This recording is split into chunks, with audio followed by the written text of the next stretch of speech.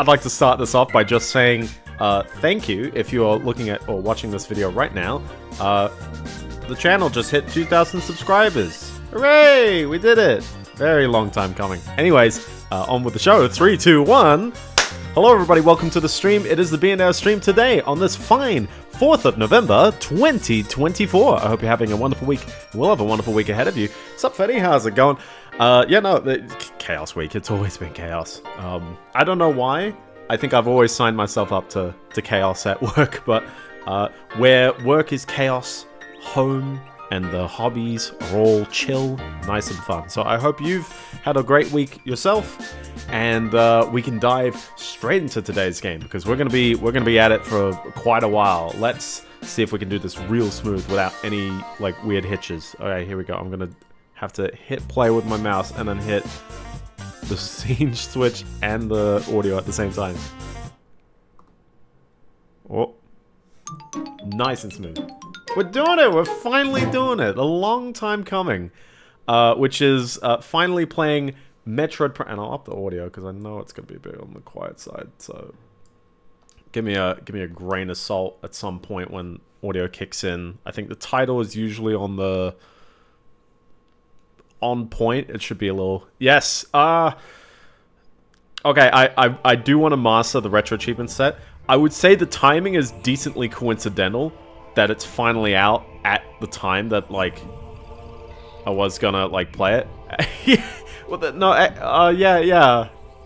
No, no, no. Meddle's Meddle's the name of the album. Echoes is just the name of the song. I actually, I really wanted to do Echoes as the the name of the um, the stream, because then I can force people to, to listen to Pink Floyd Echoes as part of the um uh the stream playlist. I actually don't have. Yeah, yeah. It's. Uh, I mean, I don't even know what the word metal has to do with any of it. Maybe we should look into that. But, um, no, there's a lot of good Echo songs out there anyways. Uh, but no, this is Metroid Prime 2. Uh, as a kid, I had Metroid Prime 1. And then I immediately jumped to Prime 3. And I actually missed Prime 2 until I went back for it in 2009 or 2010. Went back and tried to get an old copy, and I was like, man, I enjoyed this one a lot more than Prime 3, somehow.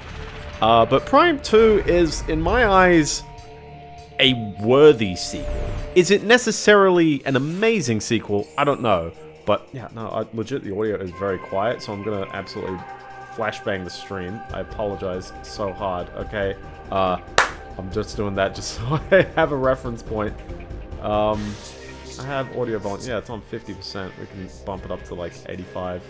Dolphin be like yeah, because otherwise that's going to be so quiet and I'm amplifying it on the mixer.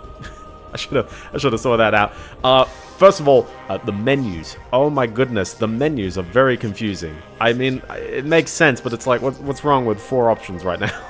what's wrong with options? Why are we like this? Why are we like, you know, we gotta we gotta rotate the thing around. Um, but Prime 2 is a very, very worthy sequel. I have three saves. We have beaten the game. We are halfway-ish on hard. And we're going to play the game casually on normal. Yeah, a bit. Yeah, Smash has some very esoteric menus and places. Um, but yeah, no, I played Prime 2 last out of the trilogy.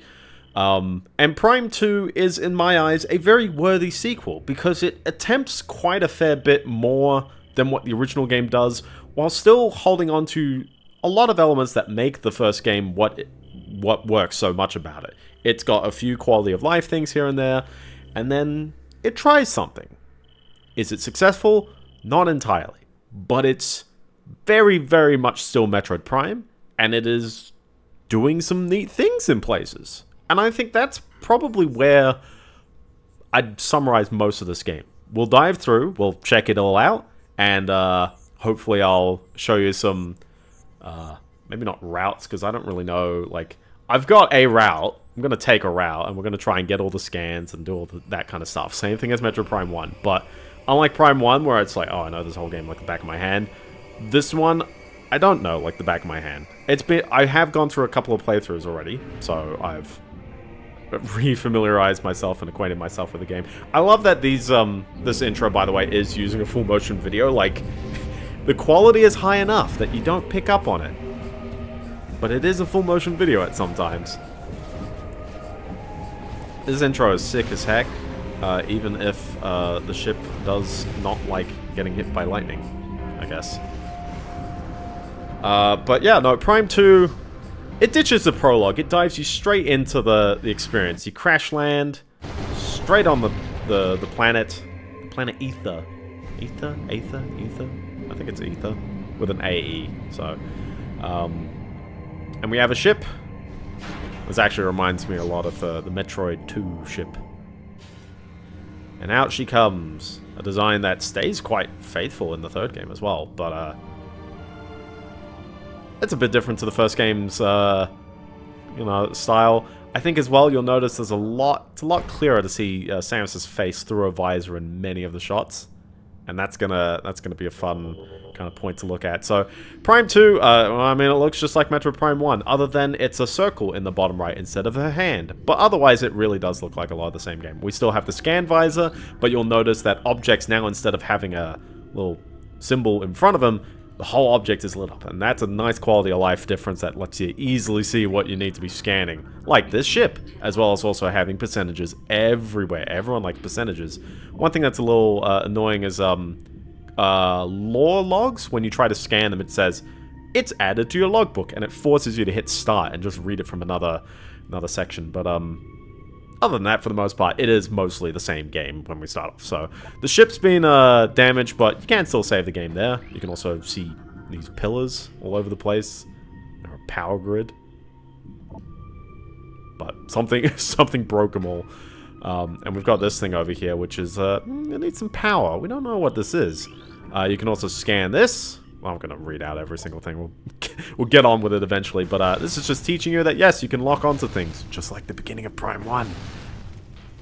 And hexagon doors continue the way. Uh, we shall attempt to continue over here, but you'll notice there's this weird door in the way. It's got alien text. I don't know what's going up with that, so you're going to need to update your, your translators. And uh, I love how it points you down here in an attempt to observe this pit So we've got a few things that we'll continue on with, but uh, mostly, uh, again, you know, teaching you about boxes. These are Federation crates as well. We didn't actually get to see the Galactic Federation uh, force. So, greetings, Blob. How's it going?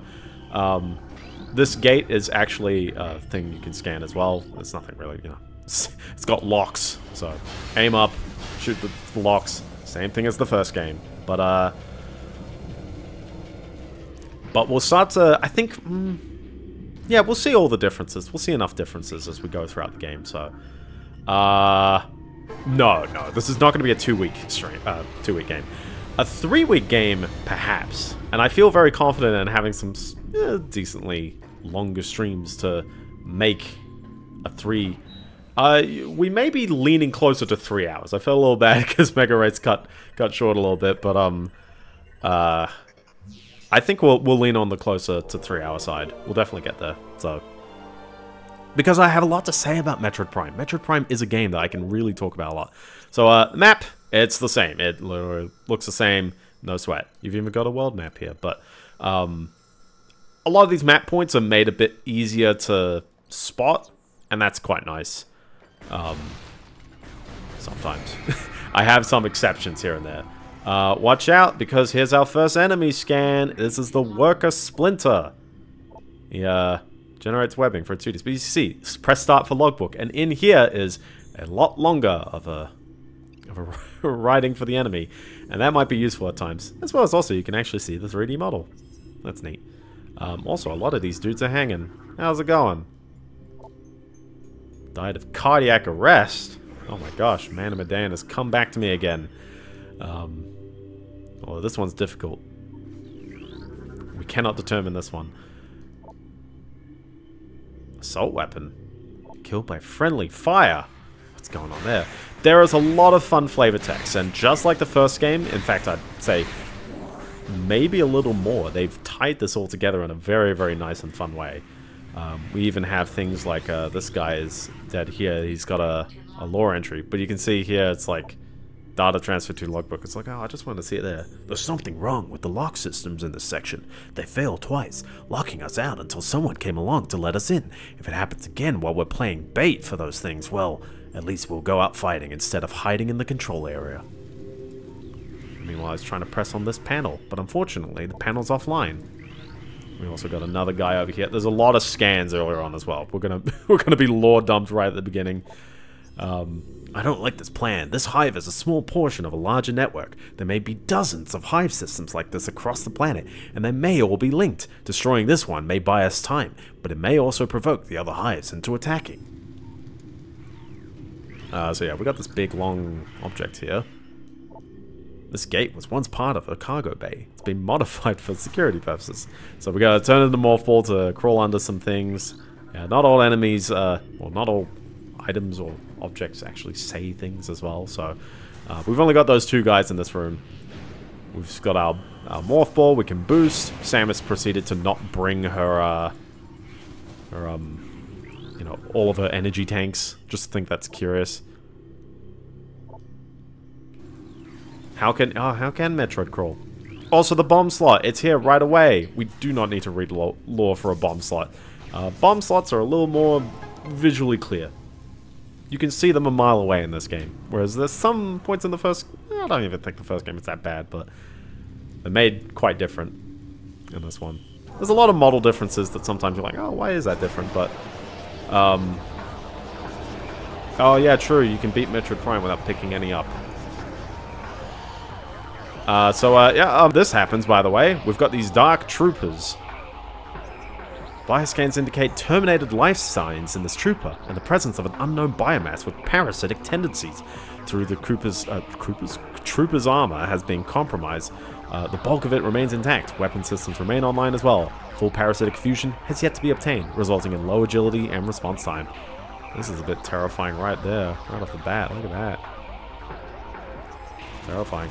Anyways, uh, yeah, no, these guys start to terrify you, but don't worry, they take one single charge shot. Unless you're playing on hard difficulty. This has Dark. It's a, it's a drinking game. Take a shot every time you see something with the word Dark in front of it.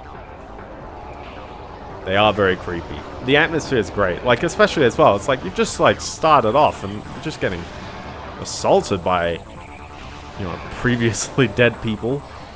They've even they've all got this like parasite thing going on in their face. Like, look at oh, oh he's fading out. uh, I'm not playing on hard now because hard will kick my butt. Hard will like legitimately like it does it does drain on me a bit on this game. I'm not that good at this one. Uh, for the purposes of a stream, I guess we'll keep it on normal because otherwise then the pacing's a bit like, oh my gosh, boss is a you know bit of a bit of a a sponge. Um, the only thing hard really does is that you take a little more damage at, well, a bit more damage at places, and the boss, eh, I think everyone has about like 50% more health. So these enemies would die in two charge shots, or one, one and a bit charge shots. Um, I'm currently working through a hard playthrough right now to get the retro achievement set out, but, or to play through the retro achievement set. Uh, I personally think the the achievements relating to beating the enemies within a certain amount of time get a bit aggravating, especially when there's enemies or when there's bosses not close to save points.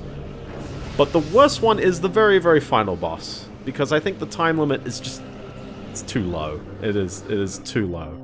Uh, normally seems to be a dimensional rift, target destination unknown.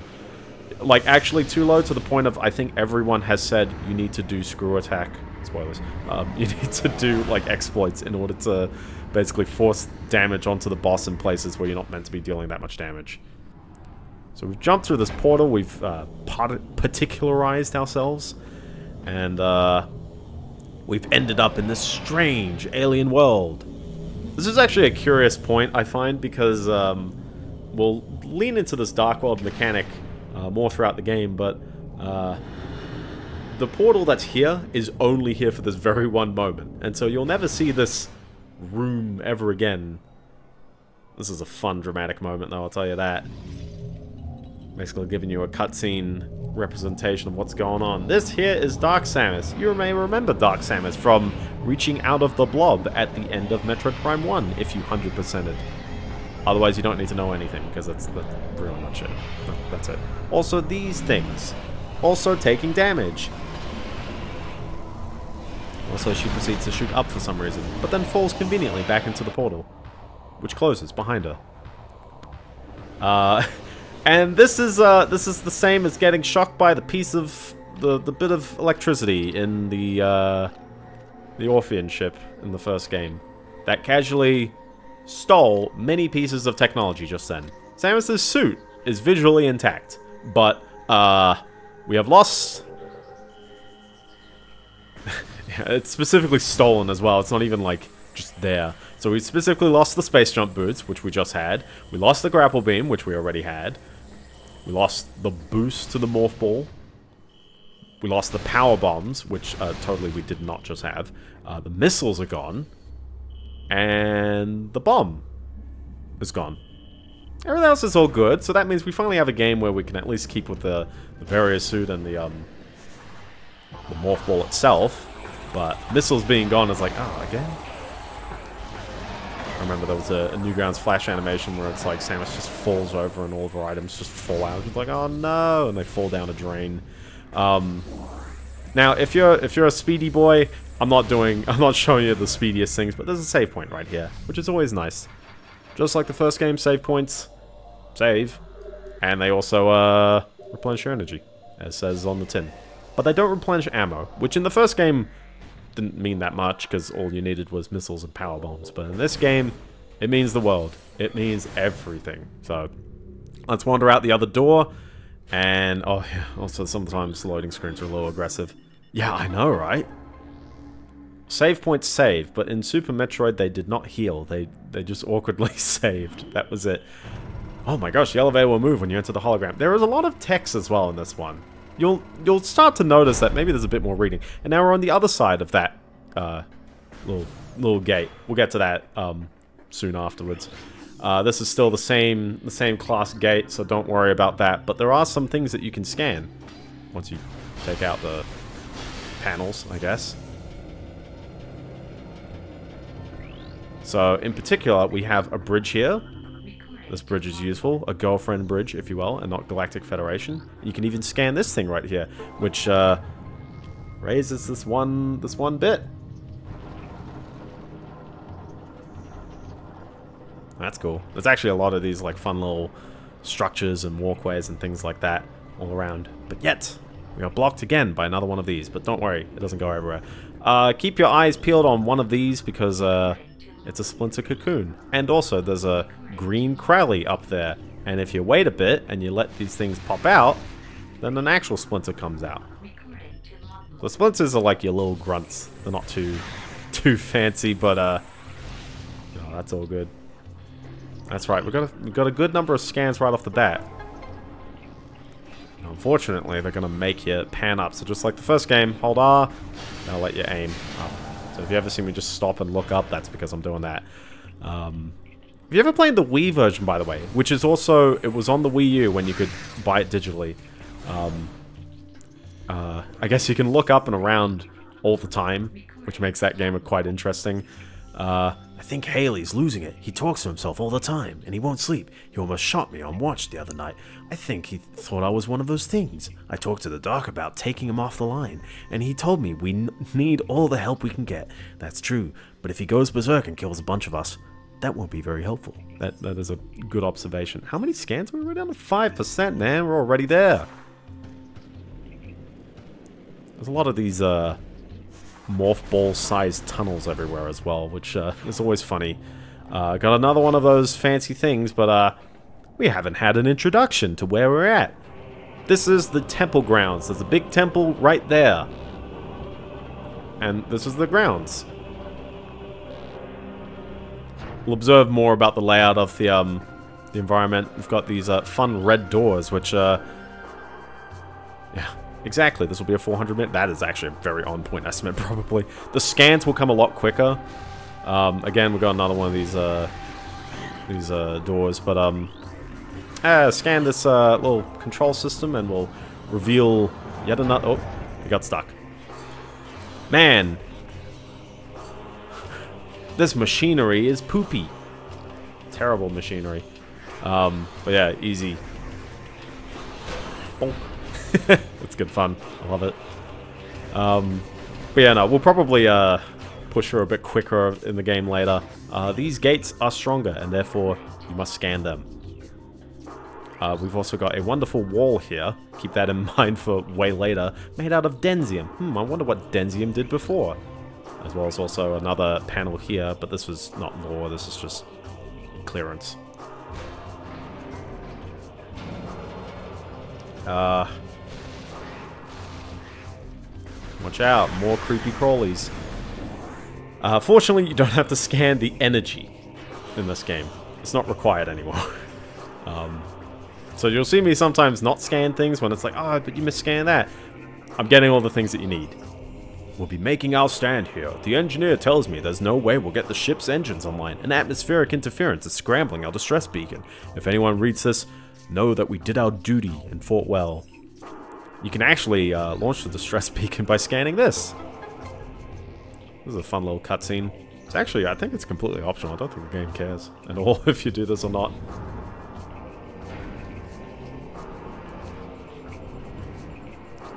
I mean, it looks like it's doing something, but then, you know, you, you go, oh, nah, it failed.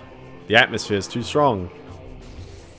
Uh, these guys also come back to life, but, um, you know, got places to be. yeah. Yeah, there's going to be quite a bunch of times when it's like, yeah, you really don't need to fight the enemies sometimes. Uh, this is a, a turret. Everyone likes a good old turret. It's not too strong. Also telling you the fun mechanic of pulling power-ups towards you. As well as also we've got another gate that is uh, in the way. You could scan this power, or this panel, but uh, something's in the way. Uh, good thing we've got little holes everywhere. As well as also more lore, which I shall read out right now. This is ridiculous. I can outshoot half the men here, and I'm stuck on monitor duty. I didn't join up to stare at a hollow screen. This wouldn't happen to Samus Aran. She'd be out there taking care of business, not pushing buttons and sending reports. That's the joy of being a bounty hunter on hire, aka being a contractor. Life's good until they don't hire you. Also, uh, good old door but yeah, no, it's uh, I mean, it's it's Metroid Prime 2. It's it's a lot like Metroid Prime, and I think it doesn't look like anything's that different. And the only thing that is different is uh, cutscenes, which there's a handful earlier on in the game, but we'll get there. We'll get past these cutscenes. Also, uh, hi. It reminds me of there's a there's a game cover. What is it called? Haze, and it's got the same thing. A guy with a like a suit with a visor on the front, but it's cracked. You can see his eye. I think that, that game has the same cover. Date cycle, that's a long bit of reading, but sure. Also Heracles with a K. While on patrol in the Dasha system, we engaged an unknown space pirate frigate. The enemy frigate was crippled and it crashed on the planet Aether. We followed the pirates, but our ship was damaged by a storm as we entered Aether's atmosphere. There they go.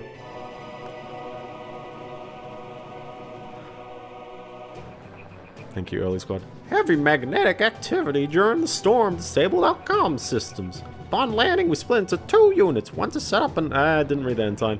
Each unit was doing fine, no problems until they appeared. That's that's the real accent this guy has.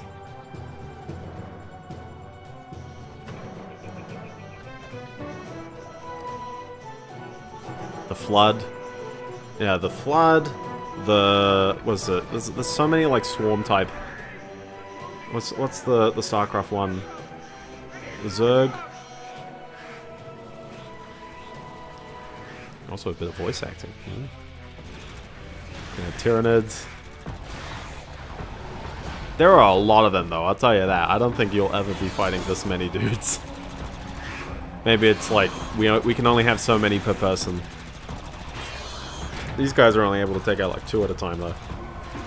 But also, rip all of them. And these are some big bugs when you think about it. They're like a meter long.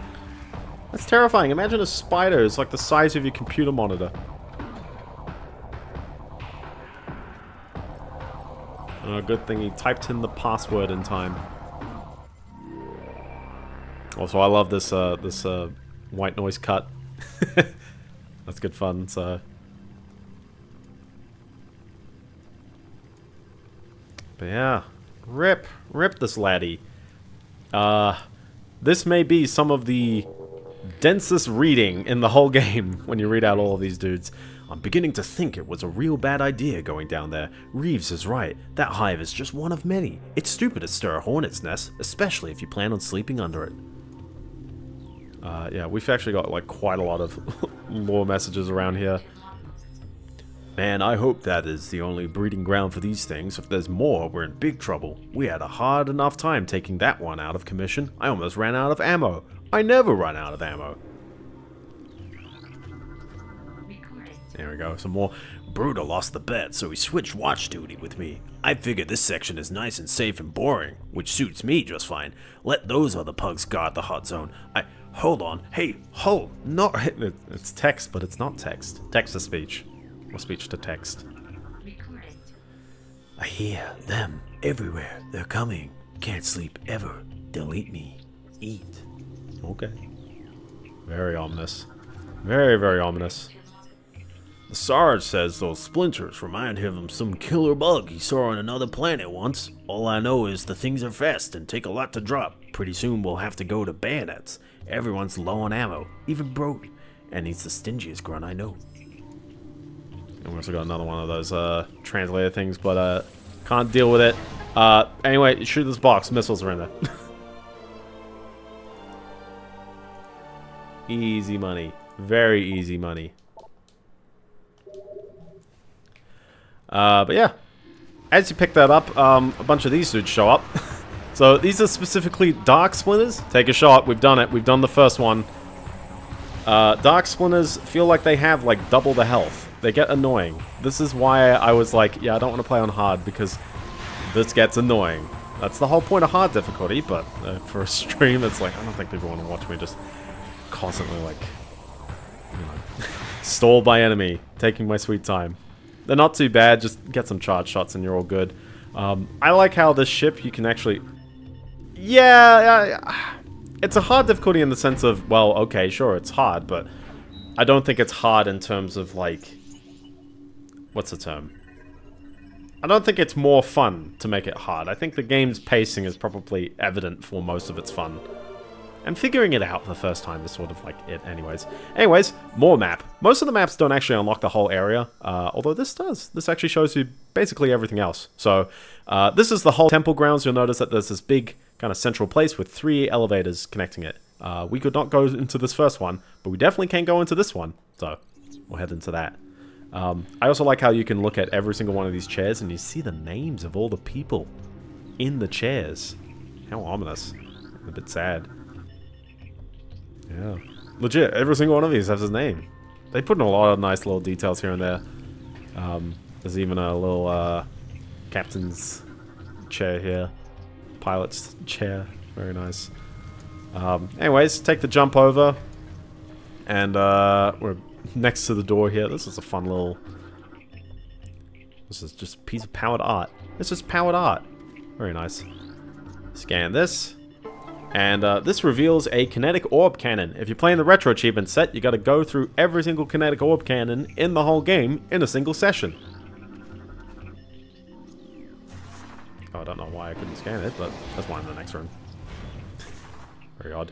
Um, but yeah, shoot your way up here and uh, you're all good. I think there's also... Oh, there's a guy over there and I'm way far away. Actually, I'm not way far away because there's a little hidey hole. okay, roll safe. Yeah, there's six people to scan in here. And uh, there's a door that we cannot look at just yet or go through. Last night at Chow, Angseth starts talking about some bounty hunter and how she blew up a planet full of space pirates. I told her I didn't believe in fairy tales like that, and she took it personal. I just find it hard to believe that one person took out an entire space pirate base. That's all. But if she wants to believe in this Samus or Bigfoot or Santa Claus, she can. That's kind of fun that Samus has her own, like, mythos and fan club. So, uh, anyways, head through the red door, which we now can use missiles, so now you know.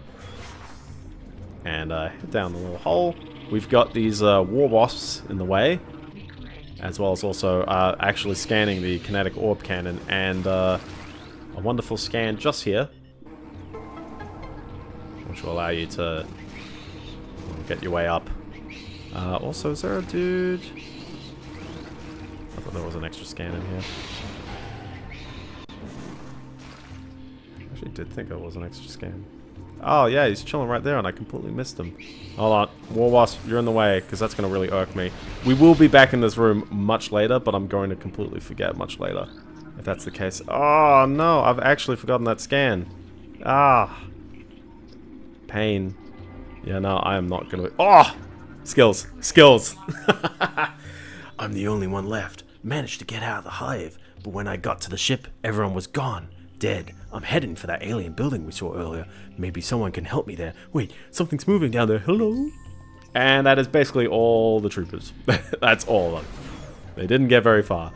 Uh, okay, we're almost there. First of all, uh, you'll notice scanning this wall with the crack in it, it says that it's a little unsound. You can actually shoot a... Okay, you can actually shoot a missile at it and it cracks a bit. But that's not the whole story. You're going to need to come down here and there's another orb cannon with a switch. Most of the orb cannons are off by default. There you go. Work your way around.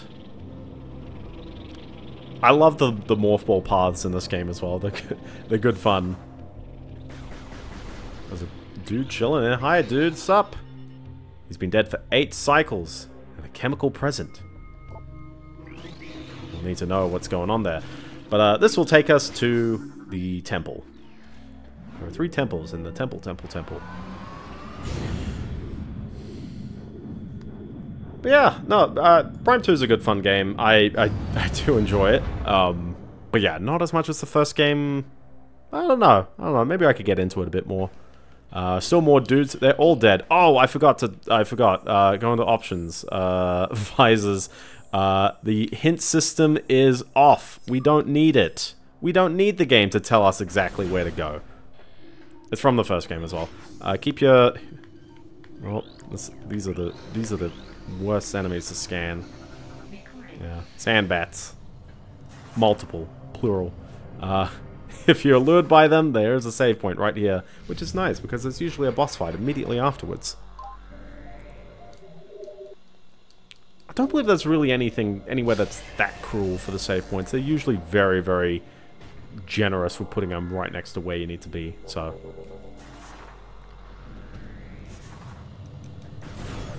But yeah, wander up and uh, we're in this nice little arena area. Also, hi there. I see exactly what you're doing. Oh, I just don't know what this is. I, I just don't know what this thing is. I wonder what it is. Getting ambushed by bugs in the first like 30 minutes of the game, save point, and then a big open circular room in the next room. Yeah, what will happen? Samus isn't even like surprised at this point. Oh, but this happens. Yeah, the, the, this game's probably a bit notorious for being a bit gamey at times. I think some of the world is a bit... It serves the game more than uh, it serves this nice little just environment that you sleuth through. So uh, yeah, there's like five of them. Wow, five of them. It's not too bad, but I think you're probably done with shooting these little dudes, and uh, I think for the most part we're actually done with it after these dudes. But how mean? They've trapped you in here. Someone is like, ah, oh, you know, he's got to he's got to destroy the bugs first. Uh, now, here comes one of the most annoying parts of the game. Having to scan... Oh, and he's about to jump right at me. But this is an Alpha Splinter. It's the big one. Uh, this is one of the most annoying parts of the game, and it comes up a few times. Uh, this guy actually is a bit cruel. I actually don't like him that much. And on hard difficulty, it's second. Oh my gosh, hi there. You have to beat this guy without taking a hit for the retro achievement set as well. Oh my gosh. So once you hit him a couple of times, uh, this comes out. You could try and preempt some damage. Scan him again! That's right, take another shot. It's the dark version. We, there are a lot of enemies in this game where it's like, there is no, like there barely is a light version. It's just, that's the only Alpha Splinter in the whole game, and he immediately turns into a dark version. So if you miss the scan, good luck. Uh, he's not too bad. In fact, he's a little easier because he always jumps right at you as opposed to sort of trying to guess. I guess the darkness made him a bit dummy. But he shoots, so... But he also has a health bar. Does this count as our first boss of the game because he has a health bar? Probably. It's not too bad. You get there. You get there in the end. Turns out, uh, Samus... Ah! Ah! He's glowing. Turns out when you def he, sp he spits, he does not shoot. That is true. Is spit not a form of shooting? You can scan this uh, glowy ball. It's just unknown. Let's just pick it up.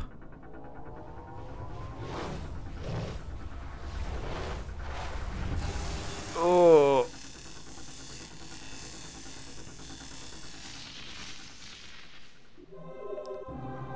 We don't know. It's a system alert. But it doesn't seem bad. Antivirus has said it's okay. So, uh, wander directly forward because every single door is covered by one of these uh, translator things. I feel like shooting... Or is shooting a form of spitting or is spitting a form of shooting? I feel like spit requires, like, bodily functions. Whereas shooting could be either. So, wander up through here, and we we are greeted by uh, perhaps this game's most controversial element. It has hold on, get the it has cutscenes with dudes who talk to you. Do not be afraid. I am U-Mos, Sentinel of the Luminoth. Please listen and hear of our world's peril.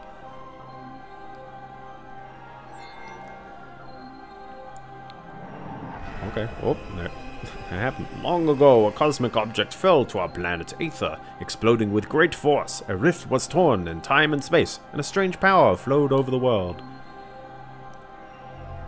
Uh, it was unknown. Uh, it was unknown virus. Where once there was one Aether, there were now two. One of light and one of shadow. Oh, use the other word. Each existing in its own dimension. It was the end of peace on Aether, for a new race was born that day on the Dark World, one filled with hate and terrible power. They are the Ing. Ing. The Ing are creatures of shadow and darkness, knowing nothing of peace or mercy. For decades we stood against them, yet we now lie on the verge of defeat. When Dark Aether, take a shot, was born, our planetary energy was divided, half for our world and half for theirs. Should one world gain control of this energy, the other will perish.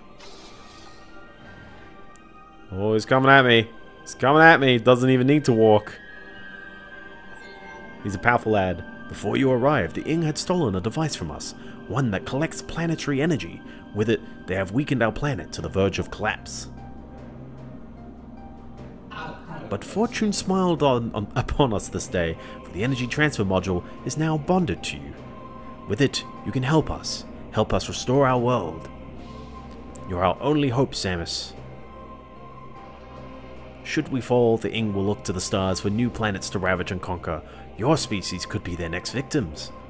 The Ing have taken our energy to three temples on Dark Aether. Find these temples and transfer the energy from them to our own.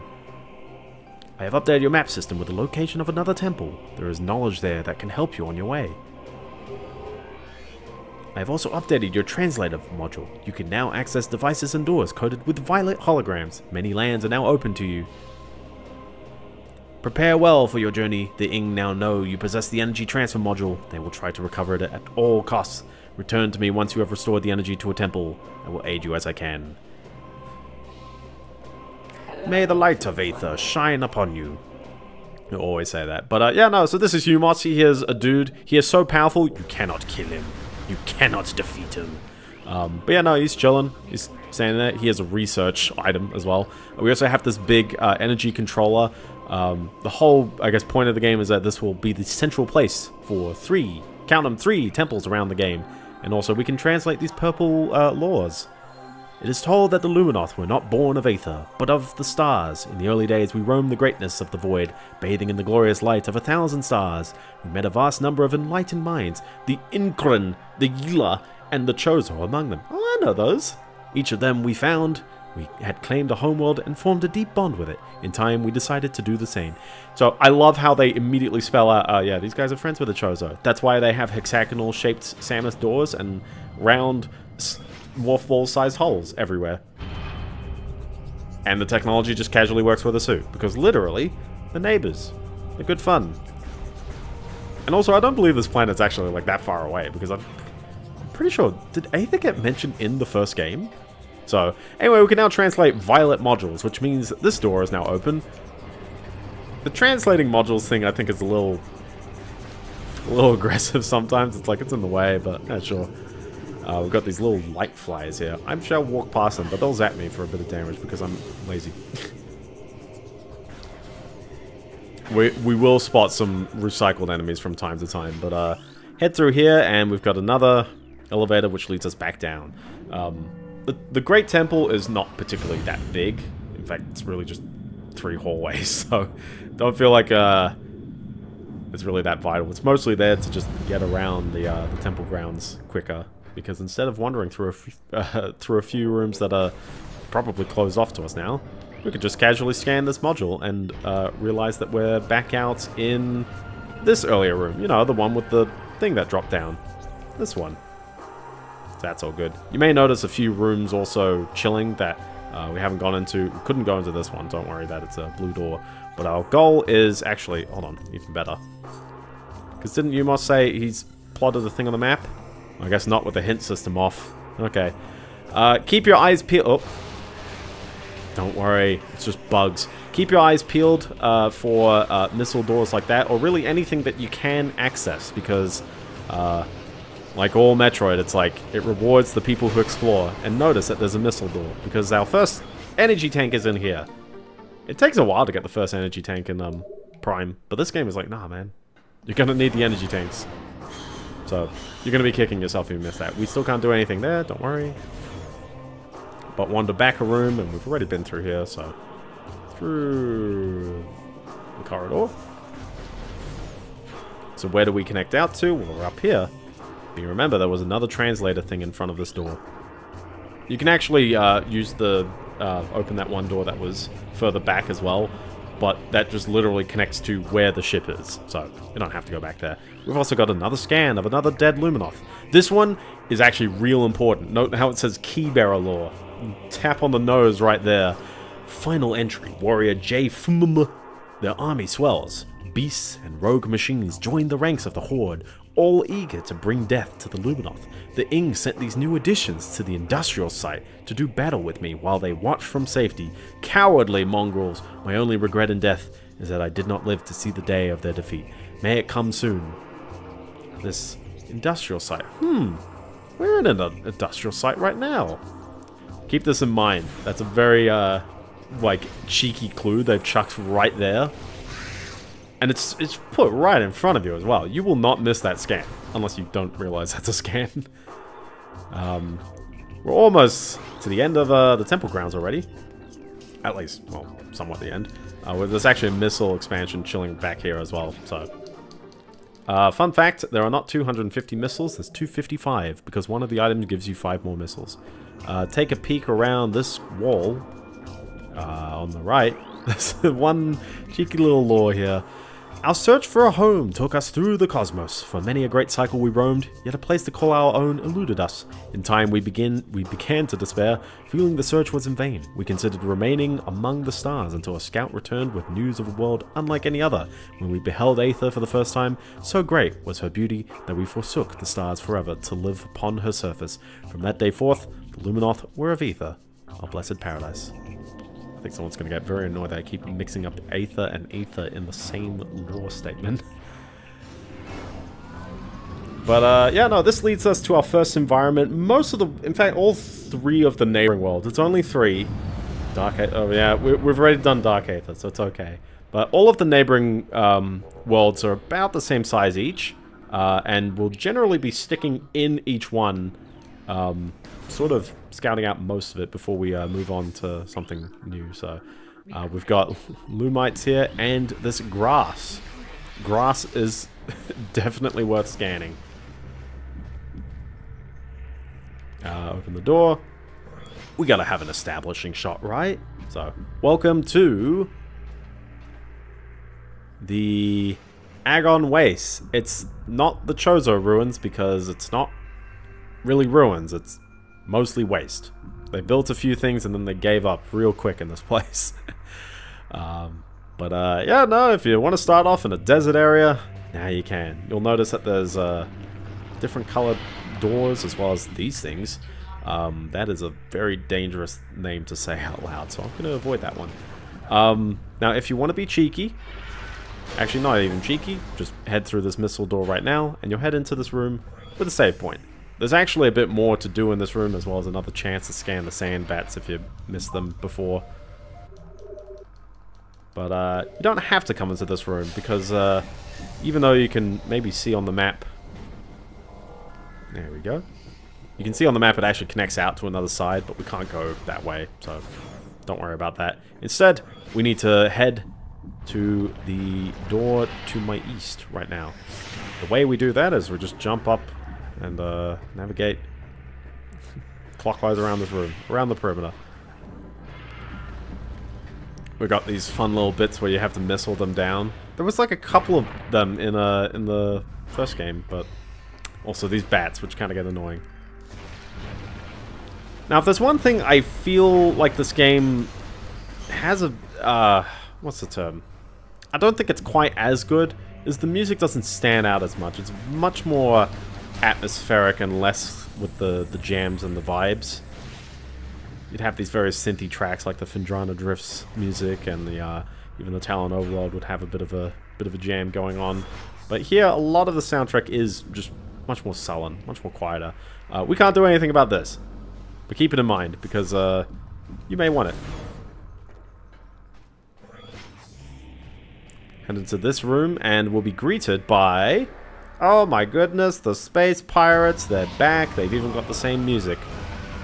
Uh, they look very different. I don't know why they actually look different. They're standing upright a lot more. Um, yeah, they're like jumping on the walls and stuff. Um, when I mentioned that the Retro Achievement set has some annoying boss fights that are a bit far away from the save points, this is one of them, because uh, in order to retry this boss that's coming up, you gotta wander through this room, as well as also do those jumps. Those jumps get annoying. Um, we've also got this enemy chilling here, called the Brizgee. I like him. Don't go through that door. It's not where we need to go. You'll actually kind of get a bit caught out because you do wander the wrong way. But um, if you got the clue that says where the temple is, then um, we'll probably be pointing you to head north right here. So yeah, another one of these these things, and then uh, I'll shoot that down. So there we go. You're gonna need some health if you if you need some, I guess. Uh, keep your scan visor out. Also, stand in the trees and blind yourself. But uh, we've got our our favorite enemies, the Shriek Bats. They're mostly the same, except they're very purple this time, just to make it clear that they're still there.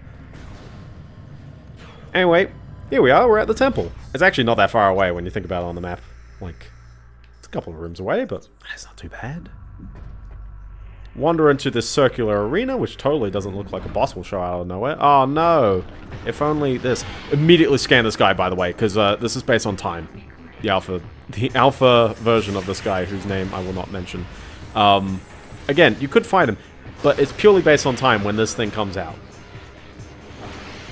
And uh, it's just like, why bother understanding how this enemy works when he only appears here and then immediately is replaced by you know, the dark version. Or is it? It's the Bomb Guardian. This is another thing I'm, I wish the game did a bit better. Some of these lame... Oh. It's a bit stuck there. Some of these names are a bit lame. Uh, this guy is kind of annoying because he takes exactly a full charge shot and then a single shot afterwards to, like, unstun him. And, uh, it always feels like it creeps just ever so slightly far away from you. So, and it's not available all the time to hit him. So you just have to deal with this, but it's not too bad. It takes, yeah. Actually, does he take three or four charge shots? I remember taking three in some practice sessions, but not too bad. Just uh, keep your distance and strafe around him. And then you know, what's the... I guess... I do like how these enemies hoarding some of your weapons use the weapons against you. Here's just like, oh, you know, it's a worm, and suddenly, oh, it's a worm, and it drops bombs and spits bombs at you, or shoots bombs at you. Um, but there we go, we finally got the, the Morph bomb again. That's all cool. And we're only 50 minutes into the stream, we're not, like, too far off. Probably grabbed quite a, quite a bunch of items in this uh, first stream. So, the Morph Ball Bomb is exactly like you'd expect it is. In fact, you could even scan this and they'll even tell you Talloric Alloy, which is interesting that we're not on Tallon 4, but sure. Um, Talloric Alloy is weak to bombs, so just do that. Wander forward, and uh, we will find this cool structure here. I guess it's quite clear what it does, but uh, every single one of the temples is uh, blocked by this security station, and the security station purely serves to waste your time. This could have just been a hallway. I just walked straight through, but no, it's it's uh, it's doing this. But uh, but yeah, nah. And we still gotta hit a loading screen, so I'll wander over to here, and we are greeted by another energy controller. Okay, but look behind him, and uh, well, this guy's seen better days. One and a half deca cycles ago. You could have just said 15 cycles. Definitely went out fighting. Scan his little uh, projector, and uh, well, there he is. If you're reading this, then I definitely went out trying. Welcome, I am Aisha, Sentinel of the Agon Temple. This message survives my death as guidance to the one who would fight the Ing. A portal to Dark Aether lies nearby. With it, you can travel to this land's shadow. You must locate a dark temple, a twisted mockery of the sacred place. Inside, you will find the energy controller you seek. Thank you, yes. You could add a lot of words to the end of ing. Dark ing. Ooh. The temple door is held fast by three locks. The keys for the locks are hidden throughout the dark land. Your search will be difficult. Even the very air of Dark Aether is dangerous and can cripple the strongest of warriors. In our past struggles with the Ing, we placed a series of light crystals throughout their world. They remain today. The crystals create safe areas that will protect you from the harmful atmosphere of the Dark World.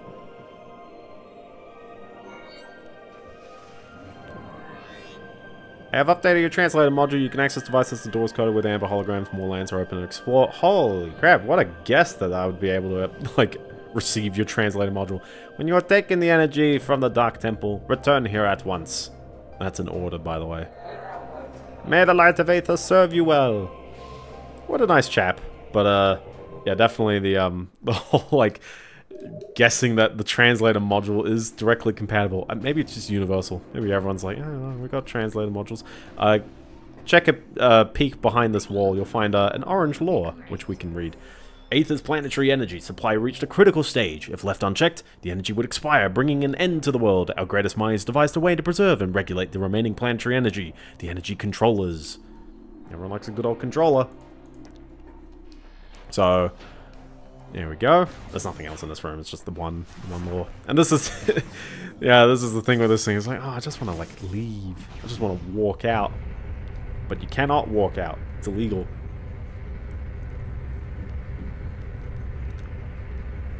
So, uh, but yeah, no, the, yeah, the the bits of dialogue definitely get a bit in the way, but they only show up in the temples and also the one, uh, the one. Uh, uh, Galactic Federation gunship going on there. We don't need to worry about the war bus, We'll just keep walking on. Um, eventually, though, you get a bit, you know, more of that Metroid kind of isolation vibe. You're wandering out into the unknowns. You're blinding yourself on the trees. Um, so there's a couple of things to do. First of all, I'm going to wander around to this door. Because we can we can reveal the door. Why not? Watch out, the sand does blow you down. Through this door, we shall find another missile. Very nice. Again, yeah, just like Metroid Prime 1, there's 50 of these, so it constitutes half of your upgrades. Uh, now, the way to go is directly underneath me. It's that blue door that I skipped earlier. But I'm going to wander back because I think if you're following along and you, you, you want to play along and you want to be like, oh, what do I get? Wander through here. This is, you know, a must-have on your first playthrough. Now that we've got the bombs, you can actually go through this orb cannon and shoot your way up and get another energy tank. And that's very, very, very nice early on to just grab that. I generally find the energy tanks aren't too cryptically hidden. They're quite clear there. But it depends how many are on the beaten path. Um, but certainly, this game will kick your butt if you're not picking up energy tanks. You can't even, like, pretend to, like, get through it. It's like, no, if you're not finding a good number of the extra goodies, you know, might be a struggle. Uh, there's uh, two pairs of orb cannons here, so for the achievement where it's like go through all 37 orb cannons, this room has four of them because there's four around the other side. Uh, there's a guy here, there's a missile here, don't worry, I'll... I will come back for this. Because you really don't need to get it right now. Uh, anyway, fight Space Pirate Troopers. They warp right in, teleport right in. Um, this topic of, uh, I guess, writing got me thinking about how um, one thing that I feel I saw a take on um, on a uh, also. You ready? You ready? We're gonna take another shot very soon. We're gonna take another shot. Also, I like how they don't like this uh, spooky dark thing, and neither do I, because it makes these guys complete bullet sponges. Seriously, they're dreadful on hard difficulty. Take a shot. It's the Dark Pirate Trooper. It's like a Pirate Trooper, but dark. But yeah, even if you want to like spam missiles, which missiles don't feel as powerful in this game, it's a bit disappointing. Um, they sure do take their time, and the shots are quite relentless. So it's not the end of the world because there's only two of them in this room, but sometimes it just gets a bit annoying, doesn't it? Uh, so if you didn't pick up the Morphball bomb and you wandered into this room, well, now's now's your tell that you, you can't continue. Uh, you also notice there's this going on Target is in a state of dimensional flux. Ooh. 50% of its component atoms are in another dimension. Or on the surface of Dark Aether, one of the two. Which is weird, because you think you'd go to Dark Aether and then 50% of the atoms are over here, but no, it's basically telling you it's in Dark Aether. More lore, the main energy controller was built in the Great Temple. Three subcontrollers were built in the temples of Torvus, Agon, and Sanctuary. They collected the energy of Aether, then radiated it all over the world, to all who needed it. In time, we came to call this precious energy the Light of Aether. It brought an age of peace and prosperity to the Luminoth. Oh, you thought the Light of Aether was something spiritual? Nah, make your technology spiritual.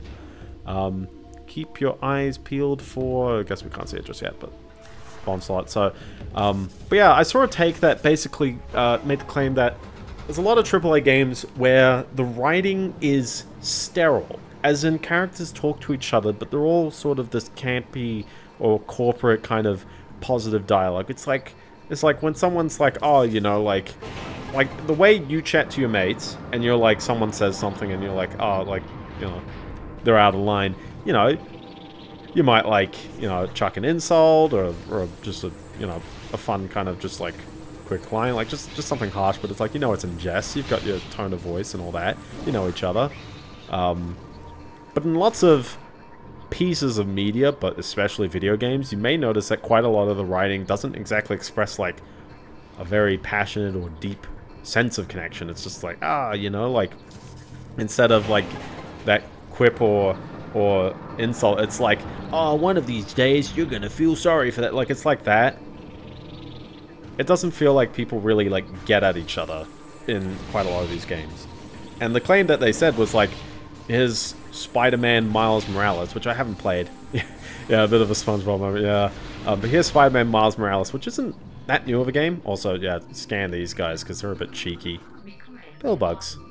Very nice. Um, also, I love these uh, little morph ball sections. I just want to reiterate that. Um, once you've uh, blown up all three of these, you have done the puzzle, which has been aligning all these uh, little mirrors. This causes the power of the sun this is how uh, you shine the uh, light to find the Ark of the Covenant. Well, it powers that thing, and that thing is wired across the room all the way to power this neat little thing at the other end. Okay. Um, but he made the case that, like, every single character, like, the way he talks to his friends, to Peter Parker, to uh, all of... Actually, everyone to everyone else. Also, don't look at the sun because it will blind you. Ah. um, he said basically everyone talks to each other the same. And that is a symptom that game writing is a bit lazy and a bit sterile. Um, accurate to real life. yeah, true, yes. Uh, but I think to be constructive, I'd probably say... Yeah, I was going to say, not the, not the Spider-Man writing, yeah, the, the sun blinding, yeah. Um, but to be constructive, I think the thing that I would probably get out of it is that there's a lot of writing in games that isn't, like, acted or bounced off multiple people. Also, this is a portal. We finally got there. Now we're into the game. We finally got into the whole going through portals business, which is sort of one of the core bits of the game. Uh, everywhere in Dark Aether is just a mirror of an existing place in the Light Aether. And not everywhere in the Light Aether has a Dark Aether equivalent. There's a couple of hallways and things where there's just no dark, dark room. So, uh, this generally leads to the Dark Aether rooms being offshoots of the Light Aether world a bit more, so don't think of it too much as Light World and Dark World and having to do all these like complex puzzles, but the atmosphere is dangerous, so just note that. You will see uh, these uh, blade pods, they're just for healing. Uh, wander forward and you'll notice your health goes down. Oh no! But stand within these light crystals and you'll be healed slowly, very slowly. There's these light beacons as well, which you have to shoot, and then you can go through them. Uh, that object that was in Dimensional Flux is clearly hinting that somehow it's 100% here. And we get this fun little bit of tell that you're forced to witnessing, which is this gate seems to open up twice. Hmm. Trans-dimensional activity. Ooh. So, just, uh, yeah, mentally not that. Uh, if you picked up the extra, um, real friends never, yeah, real friends never criticize. Yes, exactly. Um, oh, what the heck, man? I'm trying to scan you, and you're doing that. So, little inglet. Sometimes enemies die when they touch the light. It's a bit of a shame. Uh, wander through here, and uh, we've got another hallway. This is actually a little fun hallway because this was a lot like smaller in the uh, in the light world, and you'll spot all these uh, things. These are ing barbs or night barbs. So there you go. But there's a save point. This save point may look familiar. It's almost like the only save point we've seen in this place. Not all the time is a save point in the light world in the dark world in the same place. So just keep that in mind. But quite often, points of interest in the light world mean something in the dark world. And you can actually swap between the light world and the dark world version. So where I skip that one room, you can see we've got the connecting room there. So that's fun. Let's continue on because the game is very nice at like leading you around the right way. Uh, you could go right, but uh, this ledge actually doesn't have a bridge.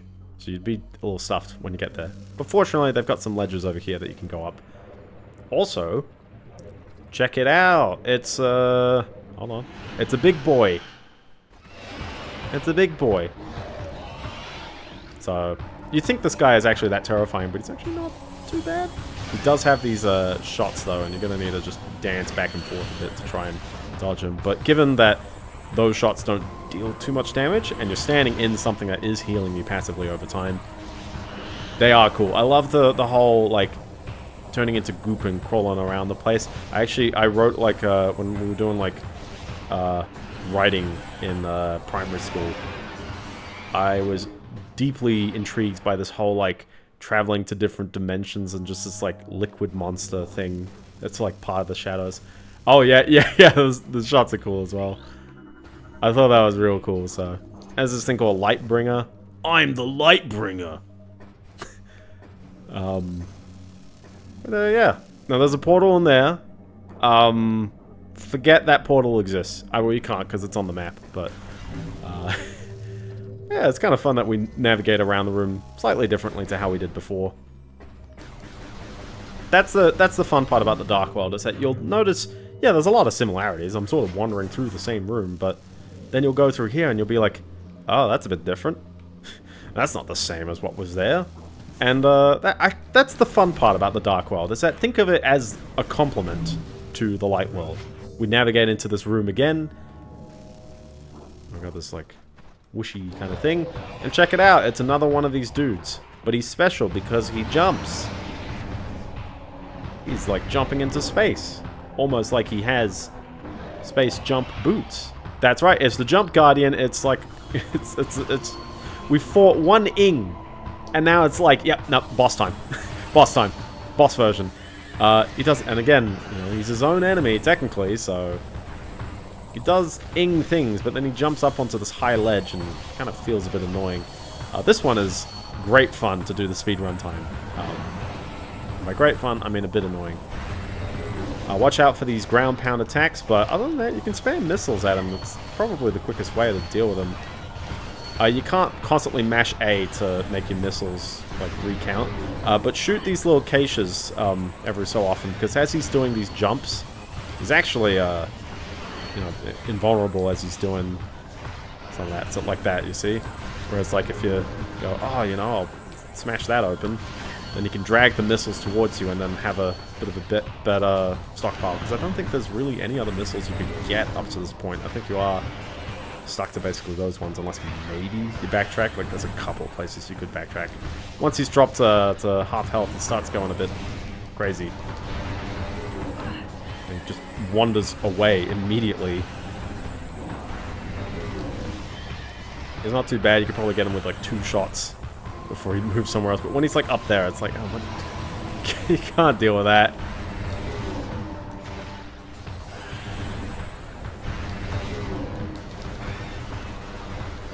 Oops.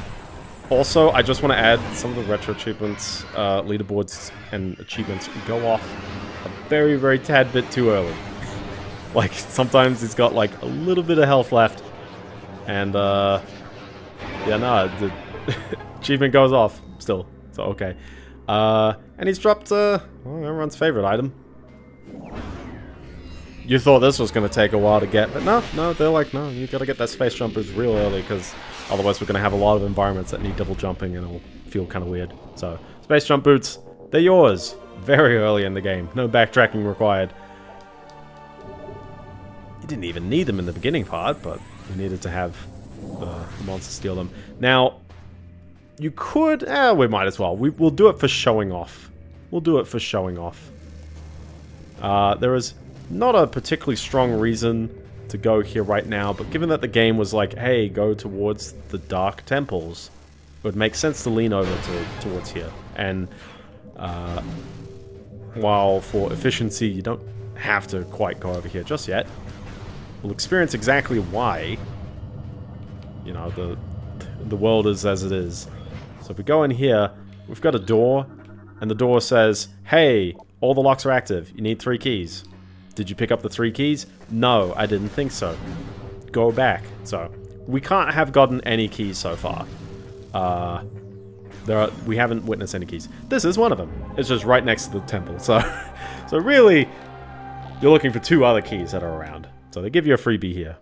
Um, for efficiency purposes, for like, oh, how quick can you beat the game? Now, don't bother walking through here right away, because you're going to need to come back here with the keys later. Um, but it's good to see and, and understand that right now. Uh, also, despite there being other doors, or at least a door to the north, you can't go up there until you've gotten all your keys, so don't worry about it. We're all good. Um, you may get a little bit of anxiety by losing health all the time in this game, by the way. Don't worry, but worry a little bit, but don't worry too much. The game is very generous, and especially you'll notice nearly every room has these like cache-style things that will give you health. They will really give you a lot of health as you're navigating through a lot of rooms. So if you ever feel like, oh, you know, like, look, look, there's another one. There's one of these guys, and he drops light on you, and you could wait in this for a bit. But also, oh look, it's another cache, and he's dropped a little bit more health, and oh look, it's another cache, and he's dropped more missiles. Like, they're everywhere. Uh, what is in the other direction? Oh, uh, one had the key. Um, the other way is actually not a door at all. It's closed off. In the light world, it's a door. But in the Dark World, it's it's not a thing. That's uh that's just completely walled off. So there are a couple of dead end rooms like that. Yeah. Uh, also, just as a heads up, there are no uh, elevators in the Dark World. So Don't you don't have to worry about that. Um, there's no going from the light world into another world to the dark world into another world. Like, you don't have to worry about that. You are in Dark Agon Wastes. It is connected to the Agon Wastes. Scan the portal. It's apparently research worthy. And uh, from this portal, we shall navigate back into the main world that we are in. The light world, if you will. So, uh, but yeah, no, writing in video games, I feel like the, the constructive thing that a lot of uh, writers should do is to act out your scenes before you put it on paper. Like, just roleplay characters. We don't need to worry about these guys, actually. I'm just going to wander right past them. But we've opened up this door, which the game is quick to highlight. And this is one of the cruelest things this game does. If you wander into this room, you'll notice that, well, there's a bit of a half pipe, interesting, but there's a bomb slot. This is a barricade that you would wander into if you wandered from the save point room up. It is blocked on both sides, but this switch here lowers it. It It's just a very arbitrary thing that blocks you. So, you have to do the lap around, and if you wandered up here, whoops. Also, if you don't come in here again, and you come back through there, it's still blocked off. You have to wander in here, pick up that missile, and open the thing, and then wander back. Because that's not the right way to go. The real right way to go is... Well, it's not the real right way, but we might as well be over in this room. As well as also pick up this missile, which is cheeky. You have to kind of squeeze in down there. Lots of missiles, though. We're getting there. But, uh, yeah, no. Writers should roleplay and act out their scenes and really try and get the timings right. Because I think one thing that really hurts a lot of these games writing is that the presentation is... Everyone takes turns. Like, reading out their line, and then something happens. And it's like, when someone's like... You know, like, when someone says... Uh, you know, a line that's, like, shocking, it's like... You might hear audible gasps as the line is said, you know, not afterwards. We've got a bit of lore, by the way. The starborn terror burnt through the heavens and struck Aether with an untold might. We all expected the world to shatter, but Aether held. There was a great devastation, however. The green plains of Agon were scorched forever, and the forest of Torvus was engulfed and racked by the sea. The skies burned for days, casting darkness over the land. And we also got a little thing that you can scan here. Yeah, yeah, that as well. The, the writers do have to be good, and you'll definitely notice that there's, um, like, I'm seeing clips on my timeline of a very particular game that I don't really have a lot of interest in anyways. Um, but they're like, oh, look how cringy the dialogue is. And I'm like, I swear we do this like every like few months. Also, check out this uh, little barrel here. Hi, I wanted to aim towards that. Oh, okay. That's right. It's everyone's favorite. Good old radioactive material. No, it's Phazon. There's a little bit of Phazon on this game. Not a lot, but a little bit. A little bit. Uh, do a quickie scan right here. Keep your scan visor out and you will quickly spot this gunship. There is a better chance to scan this gunship, but I'm going to do it now because you can. It's a pirate skiff. Sorry, not a gunship. Gunships are a little bigger. Um, I also like how this whole place is on fire. Sure makes you wonder, what on earth happened here? Which we'll find out in about five minutes. Also, yeah, uh, one hour and a bit into the game and we are in the only space pirate base in the whole game. Just chilling right here.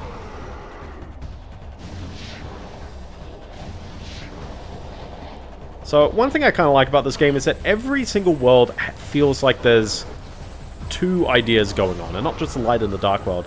Uh, no, we've already scanned the pirates. These are all just regular pirates. And we've seen pirates already, so. We will see eventually some different kinds of pirates. Uh, we will scan these turrets, which appear in two sections of the game. These are cool turrets, I like them. Uh, they look very terrifying, but uh, fun fact, they die in two? Three Three charge shots. Uh, the, the, I think the first time the Space Pirates appeared would be the room, like two rooms back. But we wandered into that room quite a while ago, so... Also, nice. The ragdolling is still good fun. Um, you know what's a game that gets the writing right? Half-Life 2. And I know Half-Life is like, yeah, you know, it's Half-Life, of course, it's a masterpiece. But like, think about it. You remember that scene earlier on in the game when you're about to try to teleport and then it all goes wrong. And there's a line where Barney talks about a cat.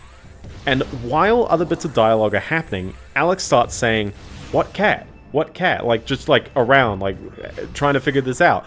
Meanwhile, other people are talking. Like, there's real reactions happening while there's a scene and dialogue happening. And that's something that I swear so many games these days forget. You can't just take turns with your dialogue. You do need people to be talking over each other or say stuff like that. Your, your writing needs to be a lot more dynamic than just it's sequential things set on a page. Wander right here, by the way, uh, because they've hit another energy, oh, energy? Missile expansion over here. Also, I like how all these space pirates have wandered up through a little uh, portal that's up there, which, uh, well, rip. We can't follow him through. Um, I do like these wandering through the electric mazes. Also, Samus faces the right way as she comes out of here, which is nice. I generally find that other than the, the like the little annoying temple doors that stall you as you enter a temple, um, generally, Samus is facing the right way every time you get up from the Morph Ball, which I think is quite neat. Um, we've got to deal with more space pirates. Everyone likes good old space pirates. Uh, there is another serious lore dump in this room. Uh, there's also a guy chilling in that room up there. You might be able to spot him. There he is. Um, but you can see here that this uh, portal is inactive. We can actually have inactive portals. Uh, we have a bit of lore for Dark Aether, which tells you that this is a duplicate, and we don't know where it happened. But it's got Phazon. And this is Light Aether, or regular Aether. We didn't add light to it. But it's unstable, so we don't like it. Uh, there's a lot of lore here, so let's read out the lore. Uh, a spatial anomaly has been found has been found within our base. We believe this rift in space-time leads to a parallel dimension of some type, but have been unable to interact with it thus far. A strange artifact was found near the anomaly as well. It may be a weapon or generator of some kind. Perhaps it is the key to accessing the anomaly. High Command is eager for reports on the relic. A new weapon for our arsenal is always welcome. Black Ops 6 has the Dark Aether too. Ooh. Uh, the rift portal has been opened. The artifact weapon, dubbed the Dark Beam by Science Team, provides the energy needed to open the portal, although for a limited time. We've sent expeditions through the portal, and they have returned with incredible news. The portal leads to a parallel version of Aether. This dark Aether has suffered a global calamity, turning it into a toxic wasteland. It is the homeworld of the shadowy creatures who have been raiding our base for the last cycle. Most importantly, it is the prime location of Phazon in the sector. Extraction plans are being prepared. We will not be denied. Perhaps it is a key. Yes, exactly. Uh, intelligence reports on the indigenous population of Aether are in error. This planet is not at peace, nor are the inhabitants docile. Evidence of a Class 4 conflict is present here, though hostilities are at a minimal level now. Our territory has suffered several raids by a strange type of shadowy creature. These raids have caused considerable damage, and we have requested more combat troops in response, so basically there's going to be tons of space pirates from here on out. Actually, they, they chill it quite quick. Science teams have detected the presence of Phazon in the Dasha system four cycles ago. High Command authorized the deployment of our team shortly thereafter. Our orders are to establish a base on the planet Aether and evaluate local Phazon resources. Because this world lies on the periphery of Galactic Federation territory, we are following stealth protocols at the highest level. A cadre of elite commandos has been dispatched to provide security for our force as well. This operation is now underway. Um, yeah, well, they thought that Phazon was only on um, Tallon 4, and it makes sense given that there's a giant crater that had the stuff on it, but I guess more places had that, which is wink wink nudge nudge. Uh, Phazon extraction raids are underway on Dark Aether. The toxicity of the atmosphere has taken a toll on our workforce, as have the hostile natives of that world. Science team is preparing survival gear to protect our work teams. and We have increased our security presence in extraction areas. Fortunately, High Command is sending more troops and supplies. Our troops and resources are spread dangerously thin, and this mission cannot fail.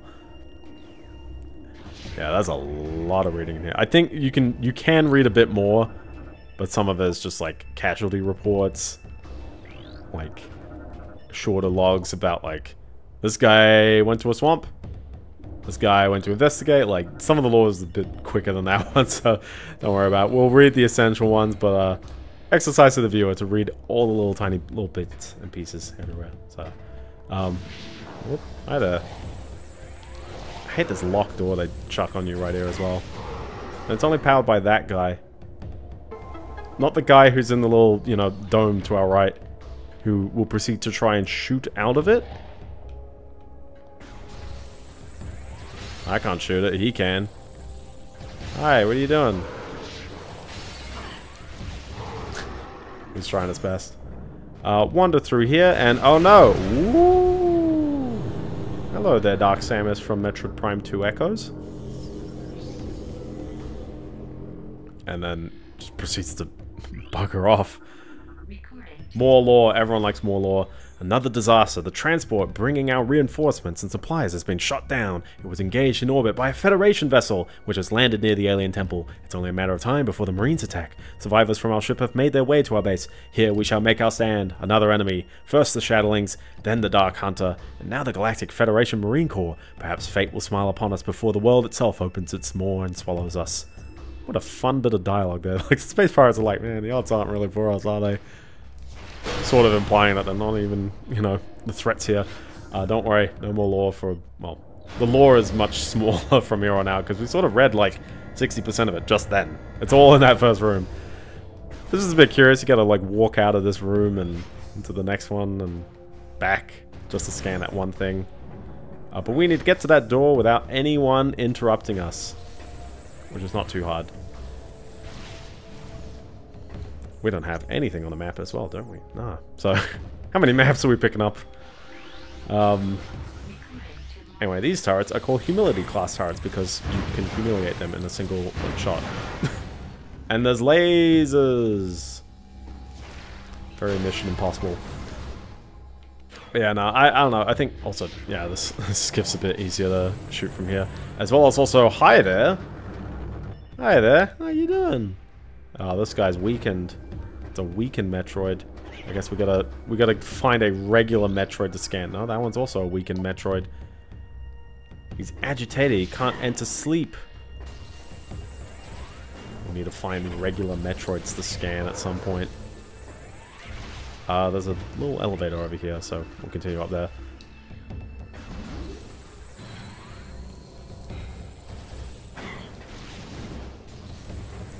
Oh, that would have been fun if that hit him. Oh, hi. You could walk past this guy. There's nothing stopping you from just wandering past him, but the ledge is precarious. Good thing there are no dark Metroids. Oh, don't, don't get me started about the dark Metroids. Can we even scan the Metroids right now? They're trying to tell me they're in captivity here. What if you scan this? Oh, more lore. Samus Aran, the accursed hunter, has arrived. The sudden arrival of the hunter is strange enough, but her actions are stranger still. She does not seek our destruction, but our Phazon. With each raid, she steals Phazon ore, only killing those who attempt to deny her. What she needs it for, we do not know, though science teams suspect she requires it to power her new armor suit. Dark in color, it is equipped with strange new weapons. The troops now call her the Dark Hunter. It is a fitting title. like, they're confused. I'm like, oh, this weird little thing. Also, hi. Ooh, I fed him to the fishes. There you go, real Tallon Metroid. You know, from Tallon 4. The Dark Souls? Yes, exactly. Hi, Taro. Oh, shooting me in the butt. This room is fun because why? There's a lot of cool rooms, but why? it looks cool. So nice theme. Uh, this is a fun room. You'll actually notice there's a couple of these flying troopers who are in a cave for some reason. These guys feel exactly like the, you know, the first game's flying troopers. Other than body blocking each other, I don't know what's up with that. oh, and they will dive bomb at you if you uh, take them out, so... But they're good fun still.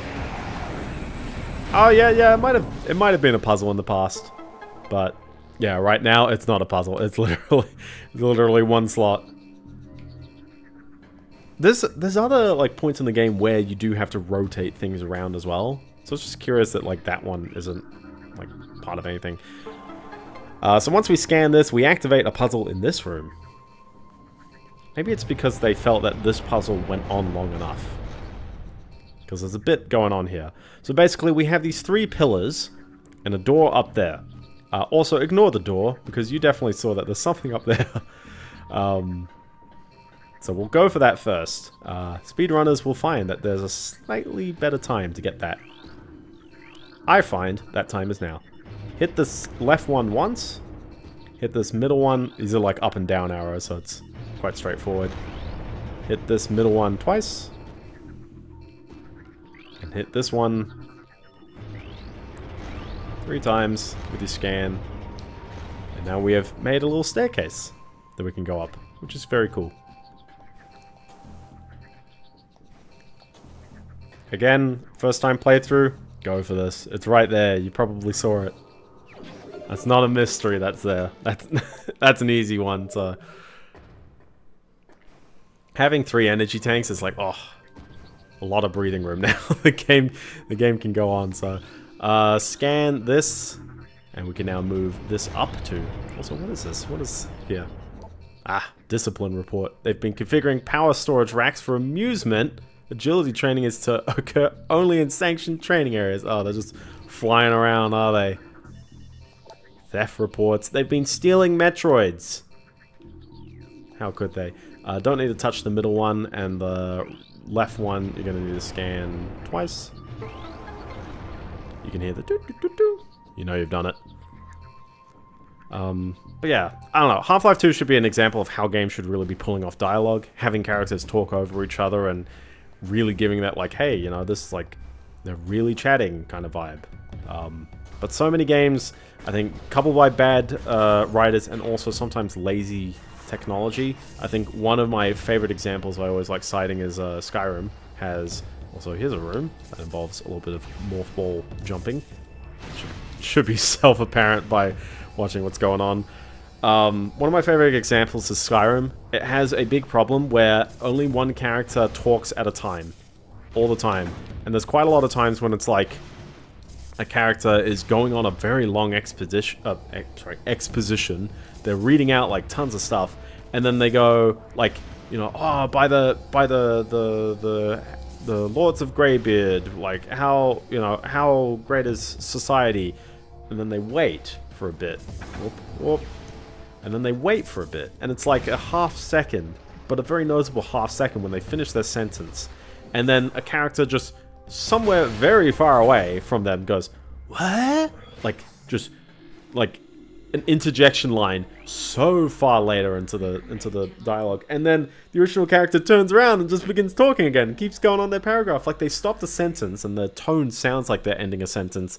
And then uh they uh they just wait for this one random line of dialogue to play. So the Dark Hunter teleports into their base at will. Our security has proven next to useless against her. Her latest raid was disastrous. Not only did we lose more Phazon to her, but she also crippled the stealth field generator with her strange new weapons. We are exposed. Until the replacement generator arrives, we'll be vulnerable to scans and detection. Our presence here is still minimal. Should the Federation find us, we'll be unable to defend our position. Fortunately, Aether is on the fringe of Federation space. With luck, we will have a stealth field back in effect before being detected.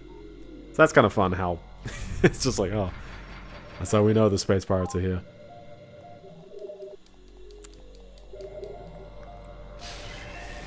That's good fun. Also, convenient save point directly in front of a boss. So keep wandering around. And we've got one last room, which is a bit of a... That's not an enemy, by the way. It's just fun little bugs. Uh, but you do have two turrets, and if you missile this bit of glass, you can just walk out. Don't bother with the rest of the room. Don't need to worry about it. It's all good. Oh, jeez. I wonder what's behind this door. Oh, my goodness. Oh, my goodness. What is happening down there? Can I join in? So, drop down. And we finally come face to face with our, our uh, nemesis from 80 minutes ago? I guess it's as good as mine, like how this works. You just like suck it in and then you your Phazon powered.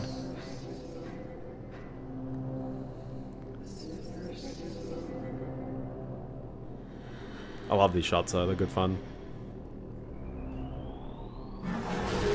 Oh,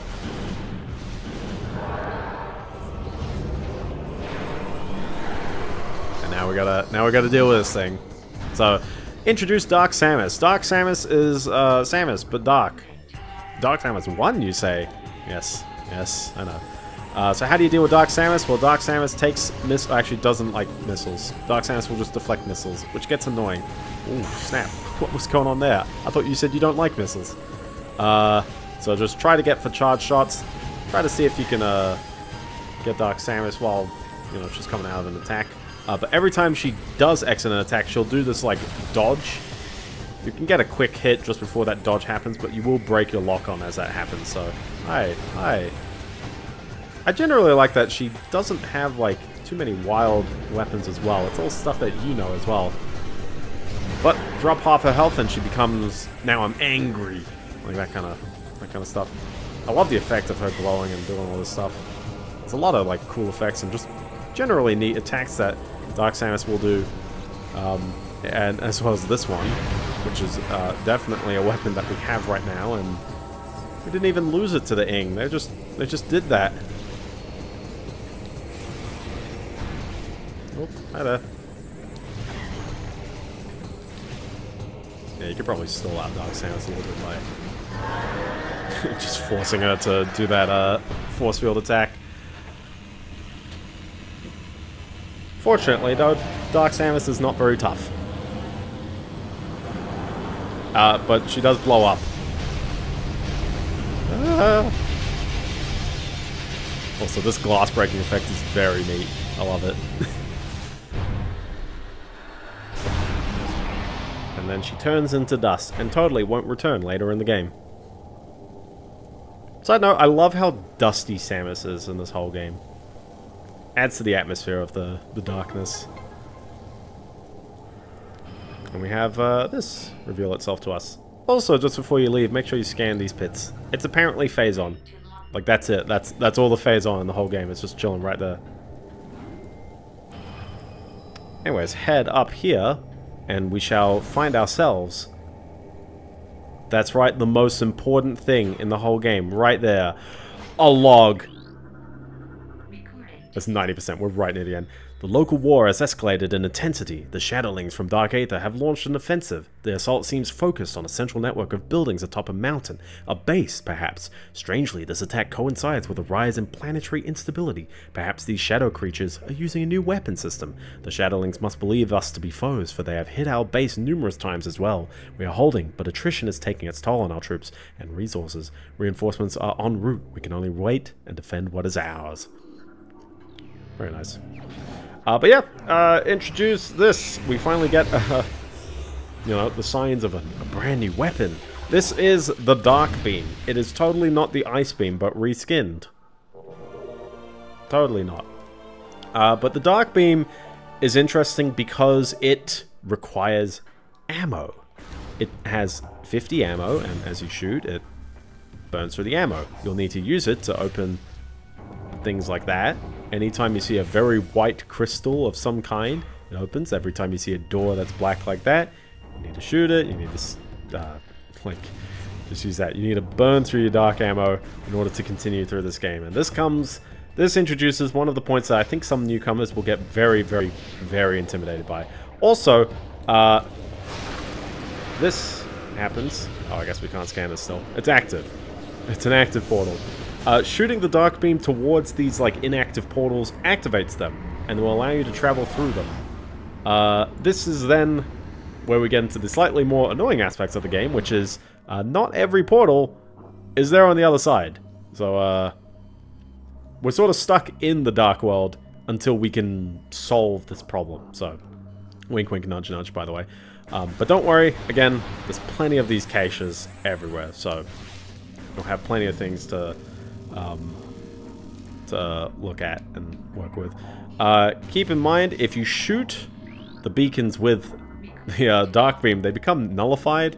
They'll get better after a while, but it's just curious that that's the case. Uh, oh, hi there. stay up.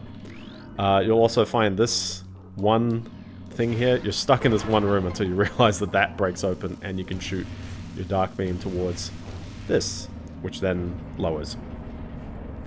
So navigating through the Dark World does involve solving and understanding a lot of puzzles and mechanics, which I think is...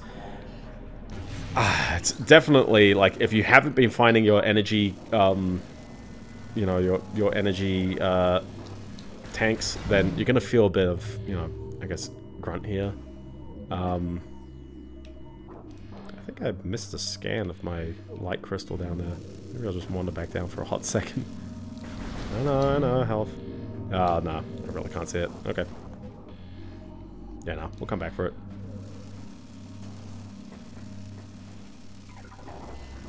It's all good. Uh, wander through here, and uh, I like how, in the same way as the Dark World, you know, generally is like a twisted and dark version of the original, you'll get neat things like this where, you know, like we can't go, or we can go on the top door, but don't go on the top door just yet. uh, the bottom door is uh, blocked by a beam that we don't have, so we have to go backwards through the whole area. Now, if you want to go back to the light world, uh, you can't because you can't go through there. But just mental note that that's there.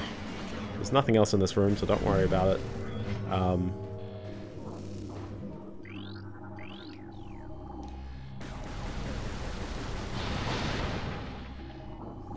I think if you go up here, specifically try to get the crystal, the crystal scans. There you go. Light lift crystal.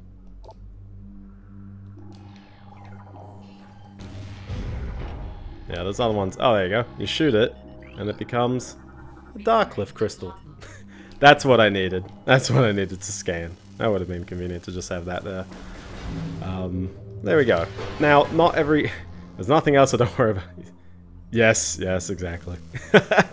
um, now, this was a save point in the light world, so that's nice and convenient. Uh, interestingly, there's no boss until the next item. Or in before the next item, so it's actually just a bit of a trek from this point on, but... Yeah. It's... One thing I find very curious is that a lot of these structures are... No, oh, that was a bit interesting. That was a bit interesting. I don't know what happened there. That's on film, man. That's on film. Can someone explain that? What? okay. Uh, but a lot of the structures are actually not really built in the Dark World here. Because the Space Pirates weren't here when the, you know, when the meteor landed. So everything here is just makeshift. That being said, there are still pipes and this whole cave is plotted out. So, okay, sure. Uh, you'll still have things like this. Fatal wounds, Space Pirates, but... hold on, what? Termination for cowardice? Ah, oh, rip. Rip that guy. Pour one out for him. Uh, this room's a bit curious because there's uh, three locks. You just got to scan them.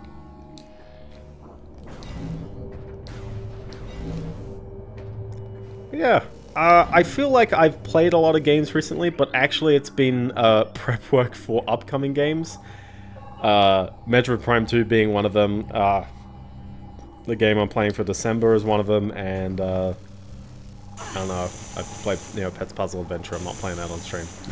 I didn't actually like Neopets Puzzle Adventure that much. It didn't go anywhere after the initial, like, playing it a bit. Um, the achievement set is a little brutal, but I think it's okay. Like, it's fine. I actually, I like those challenges, but, like, it's a bit too luck-based for me, so I'll, I'll be good on that one. Um, but yeah, no, if you like Reversi, you may like Neopets Puzzle Adventure on the DS, and if you don't, well, yeah, it's the whole game for that, so... Um, watch out, it's, uh, these things are not even, I mean, they're research, they're ing claws, they're like giant ing claws. I don't know what's up with that. We're just wandering around these rooms. uh, I like how this is not glass. You can just jump through that. The water is a bit poopy, though. Watch out for the water. It is poopy. Um, you can shoot these, and again, you know, lots more health. Uh, we're going to need to make sure we shoot these crystals. There's two of them in this room. I'm just hiding. Oh, hi there. There we go. And if we stand up here and we just pew pew pew pew pew pew pew out in this direction, you'll probably hit a lot of enemies and have health just right in front of you, as well as also making this jump easy, because if you jump into one of these guys, it'll sort of block you a fair bit, which is kind of annoying. Uh, but here we are. We have the light beam. Spoilers. The light beam. Uh, so in the same way as there was a dark beam on the light world. There's a light beam on the dark world? And that's convenient because we totally needed a way to leave here. I assume the space pirates found us because no way would they have just gone to the dark world and then died. like gotten lost. Uh, but yeah, Phazon is a, is a problem here. Also, these weapons may have just been theirs. So, uh, the light beam is totally not the plasma beam. Um, also, this clue here, defeat enemies with the dark beam to earn light ammo, defeat enemies with the light beam to earn dark ammo. This is a bit of a misnomer. The game itself could have been clearer, because that's not an enemy, that's just an ing cache.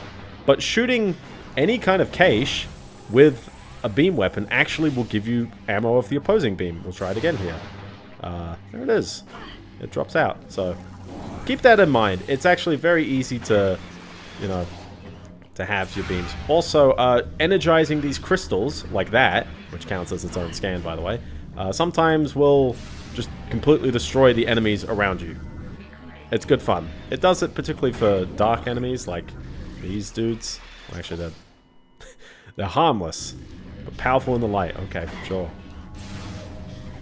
Uh, also, we have these weblings. It's like, it's like the previous things, but they have a creepy eye. So there we go. Anyways, wander around and we will finally have returned back to the starting room. Where now, I shall finally grab this one item that's like obviously there the whole time. That's right, key number two is chilling right here. So that's all good. Um, now you may be wondering, okay, that's two keys, but where's key number three? Well, let's head through this door now that we've got this, uh, fun bit, and let's blast that guy. Also, generally, you'll find that enemies in the light world will be weak to the dark beam more often than not, and enemies in the dark world will generally be weak to the light beam more. So you want to sort of keep your ammo supplies good, because uh, we'll wander through here, we'll grab the key. Oh, never mind. Never mind. Uh, this is one of the cheekiest scans in the whole game, is that locked door, by the way. You're gonna if you're going for all the scans, make sure you get that locked door. That's that's a doozy. Uh, but yeah, no, this is a uh, swarm of ing. Swarm of ing. Have fun. They gotta make you work for these keys. So, yeah, make sure you get the ing web, web trap there. And that's 40% of the scans. In an hour 42, which, granted, I guess if we're doing three streams, probably, you know, what was it, eight hours total, six hours something. Yeah. Now these guys die very quick. Also, you may catch them by just catching them in the, you know, in the area. Um, I think you fight four or five of these guys, so it's not too many. But you will run out of ammo, so make sure you, you top up.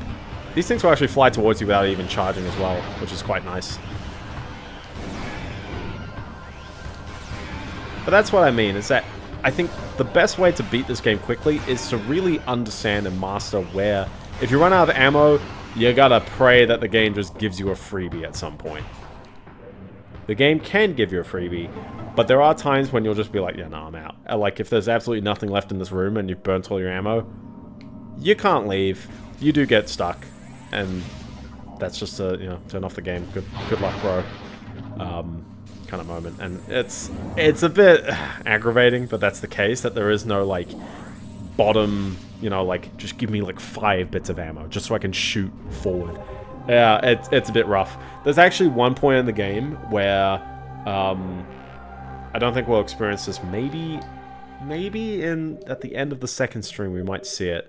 Um, but there's one part where it's like you go through a portal and then you have to go basically through like four consecutive portals, and you're sort of stuck in one of them until you go through the portal again.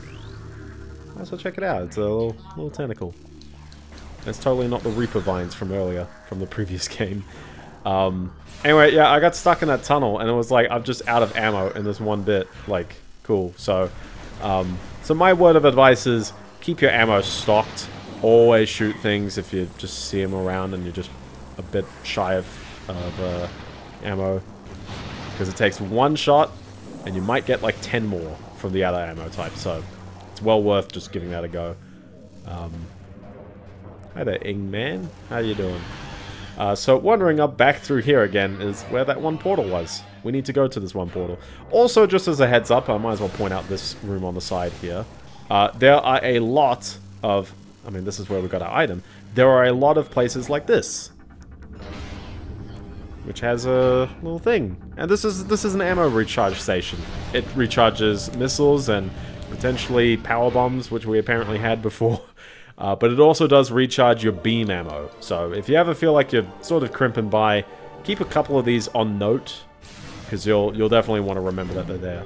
But the Dark World, I don't think ever has a map station, so you're gonna need to take some guesses to, you know, remember where the things are.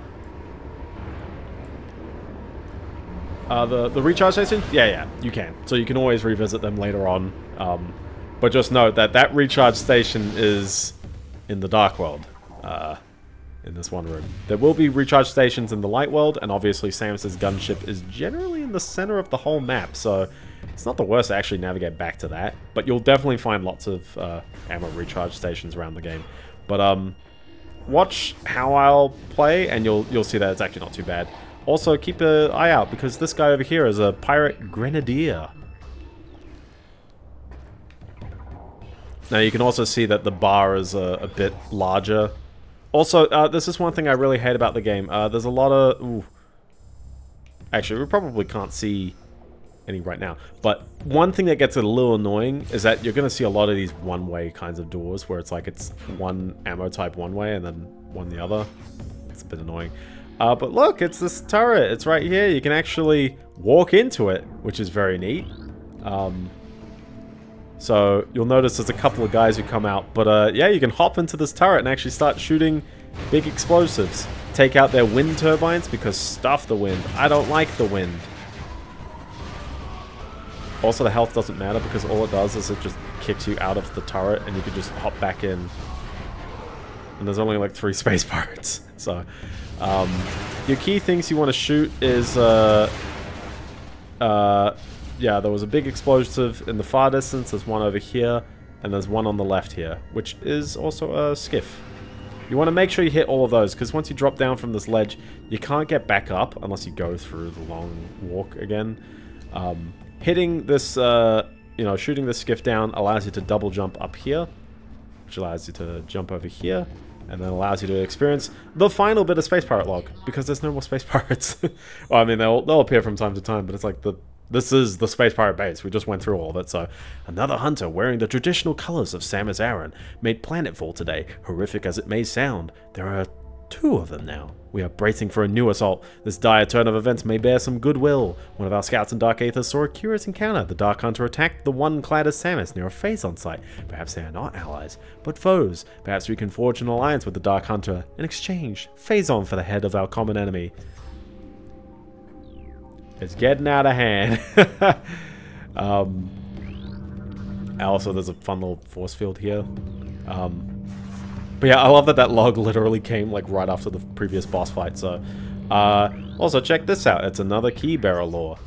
My journey comes to an end. The thrice cursed Ing prepared an ambush of singular cunning in the mining station. They caught me in it, in it like a neophyte fresh from the training halls. I've sent five score of their number to whatever foul pits they call afterlife but in vain my life is extinguished. Oh, poor guy. Uh, check it out, by the way. This is a beam ammo expansion. There are four of them in the game. And given that this one is right here, you'd be kicking yourself if you miss this one. Uh, but yeah, the beam ammo expansion gives you 50 more capacity, which early on in the game, that 100 is very necessary. I, I feel like everyone is going to just be like, yeah, no, you need that 100. So Make sure you pick them up. Um, well, pretty much all the upgrades in this game for a long time. It's like, yeah, no, make sure you pick them up. I think missiles, awkwardly, aren't that overused. I don't feel like I ever use the missiles that much because I just don't find them as strong as the charge beam anymore.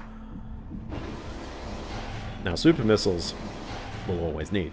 So, also, yeah, uh, I, I didn't even mention, but yeah, no, we picked up the third key, so we can now navigate back to the Dark Temple, or depending on how you've gone about it, to the first time to the Dark Temple. Um, I know these are red, they're not scanned, they're just like, you know, it's just telling you it's a, it's a solar lens. Also, uh, these, um, Warboss hives I forgot to scan, so that's a good catch to remember that one. Um, interestingly, you're going to find various places like this portal which don't need the beams, they're just powered. And this one is very curiously powered on both sides. Actually, most of them are powered on both sides. It's because it doesn't seem like the bosses block missiles, but also charge beams like Dark Samus did. Yeah, that, yeah, yeah, that, that generally happens. But even then, you'll see enemies that, like, or bosses that just, they take missiles, but they don't take that much damage from them. Or, alternatively, they are very, very wrecked by, like, the beams. And you might as well just use the beams, so...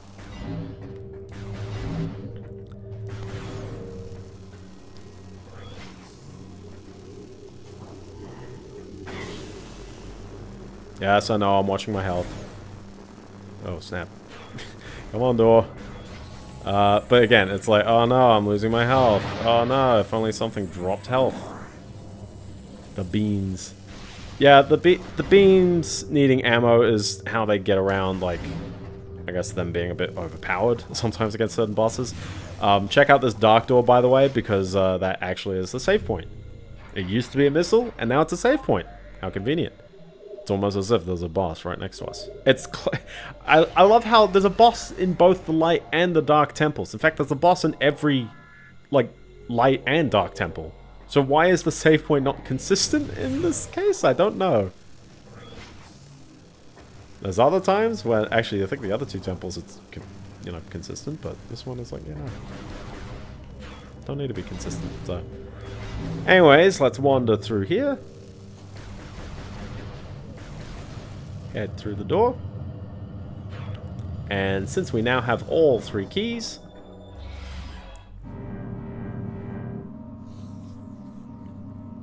we can now open the door.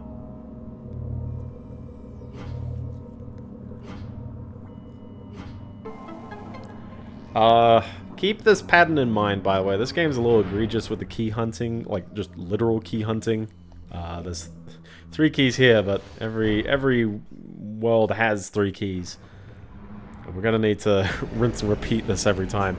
Uh, check it out, by the way. It's a boss. The legendary sandworm. He's got an egg and a big worm. Everyone likes big worm, boss. Uh, so, uh, welcome, uh, Amorbis. He's got a big egg in the middle. It's a power sphere. Strange. Uh, this boss actually consists of two phases, and you'll need to scan both phases. Check it. Oh, wow. Thanks, guys. I wanted to scan you, but no. Oh, whoa. Should have kept scanning him. There you go. There he is. Oh, never mind. He's, he's gone. He's gone again. Amogus. I was going to say Amogus, but... Oh, hi there. There you go. So this is Amorbis 1. Watch out. He's tunneling. Alright, how do you beat this boss real quick? Charge your light beam, look at your radar, watch him go, and shoot him once. There's no... He, he's to spit out, like, health, by the way, all the time. Scan him again. We are now in the second phase of Amorbis, uh, where he now has armor and shoots things at you. How do you beat him? Oh. How do you beat him? You shoot him with the light beam. He then breaks, and then it's like Flaahgra a little bit. he sucks you up, and then you morph ball bomb it. And that was it. Fun boss. And then he smacks the egg, because he's very angry. So, uh, but no, it's not the end of the boss fight. Amorbis consists of three, I guess, waves. Uh, each wave, well, you saw there were three worms. Well, the second wave has two worms, so we need to fight two worms. It's the same fight, but a little different. Uh, you will probably miss most of his uh, attacks if you uh, do this, basically. if you're using the light beam, like, just normally, you'll probably just miss most of the attacks like that, because it's like he's just chilling here. Oh, hi, I hit his shield. Also, he is going to knock out some of the, um, the crystals. That's going to force you to wander around. He doesn't really hit you that often, but him knocking out the crystals and you taking damage from the environment around you is where most of your, your beef will be taken. So um, there's nothing really too interesting about the uh, the worm part. He just, you know, swims out and hits stuff. So This is probably the most annoying part to... Ooh. That's a fun arc as well. Um, this is probably the most like normal part and the best part to probably use your um, your beam ammo. Exactly. How convenient that there's enough ways to crack the egg. Now, it, once there's three Amorbis, uh, if you wait long enough, you will witness the most annoying attack that Amorbis has, which I shall show off here. It's uh, uh, lots of beams. It sort of forces you to wander around the field or just jump back a little bit. And I'm on full health, by the way, so it's not that bad. and then he goes around the other way, coming around town. Coming around town. Anyways, fully charged shot, it's really not that much of a problem. If you're playing on hard difficulty, it gets a little annoying because they do take more than one charge shot. So, and uh, I honestly don't think there's actually caches anywhere to reload your light and dark beam ammo. Uh, because you don't need it. Because if you want to beat this guy like an ordinary person... Oh, first of all, if you're going to use the dark beam, first of all, the dark beam, as I said, it's like the ice beam, so it's real slow. It's not really a great representation of the amount of damage he takes, but, you know, you can use anything. Missiles work. But, like, note how quick that was with the light beam. It's just like a charged shot that actually homes in on your enemy. And then it's like, here, I have to deal with missiles and things like that, so... It takes its time, but uh, honestly, it's not that bad. One more crack, and it turns out, apparently, uh, the worms are very upset because they killed their own power supply and turned off. Okay, sure. Cool worm. And crack open the egg. We shall reveal everyone's favorite item. And by everyone's favorite item, I mean, it depends on how you feel about it, but one big improvement of this game is the suits, compared to the first game where, you know, yeah, the power suit, which is, hold on, yeah, the little power suit, which is fun, and then you got the Varia suit, which is more iconic design. Um, and then every other suit was just a recolor, which is fine, that's what Metroid's usually done, but one thing I love about this game is that Samus's suit here is very snazzy. And there's a real, like, air of, you know, harnessing the the evil around you. Take a take a shot, by the way, dark suit. So you can now see you don't take as much damage from the dark. It's still happening, but it's slow enough that you're not sweating about being outside all the time now. This really empowers you as a as a player to now suddenly, you know, the Dark Aether is not as much a threat as you felt it was before. And I love that it forces you into experiencing, not to be confused with Dark Samus Suit, yes, no, yes.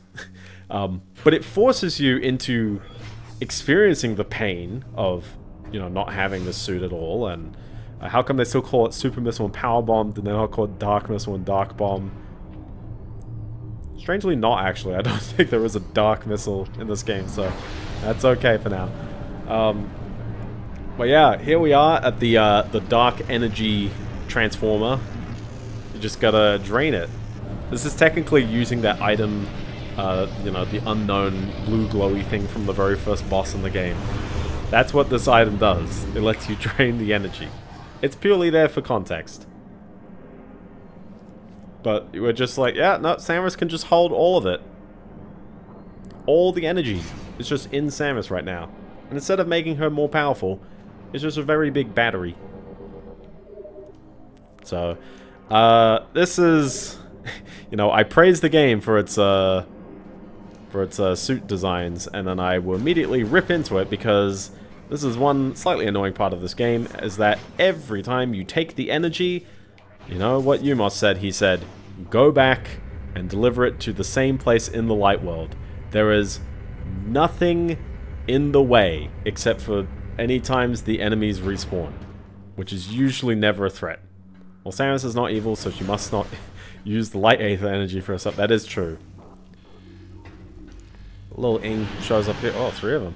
Okay, hi there. Oh, they're wandering around. They're not even, like, afraid of you or anything. I don't really know. It's not that the dark suit even, like, you know, protects you from damage or anything, which is not expected. I, I'm not expecting that, but it's just like... All these enemies are just like, ah, must must defeat Samus, I guess. I guess they're already doing that, but yeah. Yeah, yeah. It it is exclusively. I mean, similar to the Varia suit where it's like it protects you from heat. It if you see how slow the health is draining now, because I was like, you know, losing. Well, I mean, I got hit then, but like when you're outside of the light crystals, the dark suit protects you more from losing health. It doesn't actually feel like it is needed for anything in the sense of like, you know, if I never took damage, I wouldn't need to worry about it, and that's true. But what this does is that now it's like, okay, well now you you play in the dark world normally, and then you use the crystals to sort of be a bit cheeky or lean some stuff around you, or maybe as a bit of a respite kind of area for um, for working with the uh, the you know figuring out puzzles or things like that. But when it's yeah, when it's like oh I'm wandering around, you might see me just completely like just bolt it. I'm just walking forward. So yeah, uh, I forgot to scan the uh, the dark portal, so I'm just gonna casually make this appear again, so I can scan it. I tried scanning in other places and it was not a scannable thing then. So, but yeah, uh, having to wander all the way back. Also, 61% of research. That's 44% of the scans in two hours. Most of the scans are very front-loaded in this game, and we haven't even gone into the other two worlds of the game yet. Like, there's still a lot of environment and a lot of things to experience, but because most of the lore is actually kind of front-loaded on you, you actually pick up most of it very quickly, so... But yeah, just like Metroid Prime 1, it's like, eh, you know, there are missable scans, so you don't know you've missed one. There's a dark light aether and a light dark aether. And we're gonna get into like north, south, east, like compass, like you know, it's like you got north and east, and then it's like northeast, and then you've got the subdivision in between. It's north, northeast, and northeast, north, and northeast, north is not a thing. I'm pretty sure you don't go back to north afterwards. It's like north and south are like key, and then it's just how many easts you've got. Actually, no, it's east, northeast, and northeast, north. Those are the the two the two divvying parts. To anyone who doesn't know, this is the uh, musings of a madman. This is like, it's like northeast, northeast. What, what are you talking about? What does it mean? it's like when they found a new prime number the other day, and it's I'm like telling my mates, and they're like, "What a nerdy thing to care about." I'm like, "I know, it's cool." I am Australian. That is true. We need to know our norths and our souths, because how else will you know where South Australia or New South Wales or Western Australia or Northern Territory are? New Prime is cool. New Prime is cool. That's why I'm playing Metroid Prime, to celebrate a new Prime. Anyways, uh, Samus was holding on to that energy for a bit. She's held it in a bit too long, so just chuck it back into the energy controller. It's, yeah, it's like, was it it was a a nine digit number, that exponent. I'm pretty sure. It's it's a very, very big number. Actually, was it a nine digit? I feel like it was a nine digit. It was really big. And like when like if you were to try and write it out, it's like actually like hundreds of thousands of digits. Like it's a very large number. And in order to prove that it's prime, really you have to basically just test every... I mean, you can do the square root, because you could do that, and then you have to know 41 million... That's a lot of digits, yeah. Um, like, you do the square root of it, and then you try to find every... Uh, like, you know, you try to divide that number by every number less than the square root, or modulo it, and see if you get zero. Uh, so when it's yeah, when it's 41 million digits, then your square root involves 20 million digit numbers. I think. I think that's how it works. So yeah, it's it's a lot of insane brute forcing, but that's that's the joy of that system. They hadn't found a prime number in six years using it, and suddenly, oh, here's another one. They figured it out, so very nice. Great job, guys. Is it a is it a waste of resources? Uh, we need to keep finding more prime numbers because it's great for cryptography, but yeah, there's probably there's probably uh, more efficient methods out there than trying to like burn CPU cycles in, in an attempt to find everything. But yeah, um, yeah, uh, we needed to wander back to the energy controller to just do that. By the way. Let's just train an AI model to... Okay, real talk, by the way.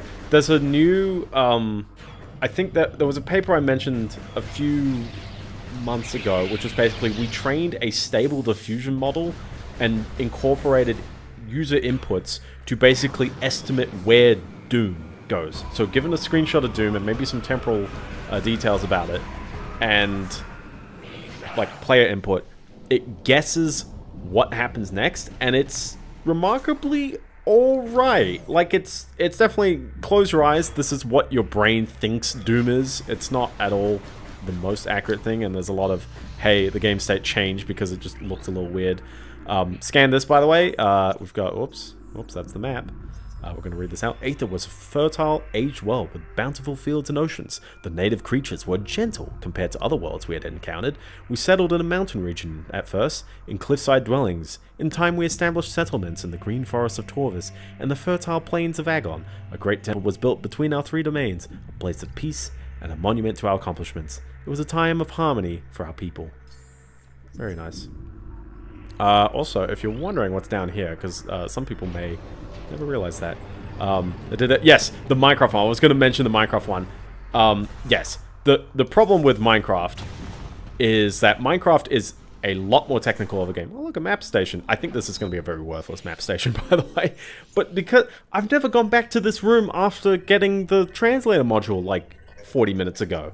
Like, that's my problem with this map station, is that it's a bit out of the way. I don't know. um, yes, uh, the the Minecraft AI has no temporal like knowledge. That was pretty much the whole map, by the way. We sort of like you know there's a there's a room here which we can't go into just yet. There's a room down here that's actually where the light beam was. We can't go in there yet as well. Uh, there's these connecting rooms which we can't go in. I think you can go into, but I don't know if you can actually like get the thing in them. You definitely can't go into that. Like all of the rest of this place is kind of off limits, so we'll save it all for a proper revisit. Uh, we'll keep going on for a bit though, because uh, I've still got some things I need to get done in the stream, because otherwise we're going to be like, we're going to drag this to a four sprint, uh, four sprint, four stream sprint, sprint. I've been doing too much sprint talking at work. Sprint, sprint, sprint. get stuff done before the sprint. Are your story points accurate? Like, oh my gosh, like, oh my gosh. okay, I get there. But um, yes, no. So the the Minecraft AI one is very neat because they have an in-engine, sorry, an in-browser, uh, like, way to play it. So you yourself can actually toy around with this. Um, and two, Minecraft is very technical, and what this thing is, is sort of showing where all the gaps are and how to make this stuff work. Is it practical? No. We probably should never be actually playing games through, like, AI estimated content. But one thing I could maybe imagine this would develop into is also, uh, for reference, the next step is to walk all the way back to U-Mos himself. Like, it is such a trek back. It's it's a real, a real trek. Um, I read it so many story points. It's such an epic. Exactly, exactly. Um, you can hit this, by the way, but we don't need to yet. So keep that in mind. Uh, one thing you can do, though, is you can actually jump up on this ledge. And you'll wander around. And uh, we'll find a little tiny hole. I like these little tiny holes. They're always good fun. Not a missile. Uh, so, yeah, so the, so the Minecraft thing, it's, it's more technical in the sense of, uh, yes, you can move the camera around in two axes, which is more than Doom could.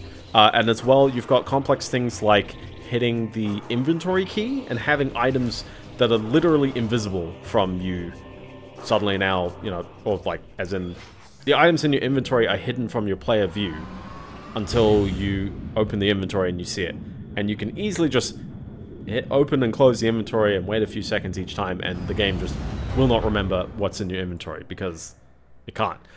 But it does remember what's on the hotbar. It actually is really good at mapping going from like items on the hotbar to being on the hotbar in the inventory screen. It's actually really good at that. So and there's a lot of things that I think are really cool in how it um hand. Oh yeah, sorry, the thing you can do. Uh, what what what I hope that this technology gets used for is um turning visuals and inputs of games into understanding the rules themselves. And the thing that I think is really neat is that hey, yeah, it understood. Also, there's a cheeky um item over here. We needed the morph ball bomb, so that's why I didn't grab this earlier. But uh, just wander through this fun little track up here. It looks confusing, but trust me, it just gives you the missile. Also, we haven't gone very far. We're literally just on top of here. it's just a snaky little, little tube. That's fun, though. Um, but uh, there's other things that I think is neat. It's done a very good job at understanding, like, mining objects. You hold left click and the object starts digging and then it drops a block. Although usually that block is cobblestone because I think that's probably where most of the training data was. Um, it understands... Uh, one thing I saw it understand was it understands sand and how it should fall, which is a very, like... When you think about it, like... If you were just dreaming up Minecraft, you may not have actually been, like, thinking of how sand falls all the time. Maybe you do. Maybe you use it a lot. But, like, that's an interesting one I thought it picks up on. I was like, oh yeah, the sand falls. Uh, it knows that when you stand in lava, you get set on fire. It knows generally that lighting works. Um, there's a lot of cool things about it. I thank you for restoring energy to the Temple of Agon. You're welcome. Your valor honors the Luminoth, those who have passed, and those who remain here under my protection as they sleep in deep stasis. Ah, so he's not the only one left. Be on guard, for the Ing do not suffer defeat lightly. They will surely seek revenge for your actions. With the energy lost from the desert region, they will increase their efforts in other lands. I have detected unusual amounts of Ing activity in the Torvus sector. The enemy is on the move. The swamplands of Torvus are treacherous and can hinder you considerably. Bear this in mind as you move through the bog. Seek the Temple of Torvus. More knowledge awaits you there. May the lights of Aether serve you well.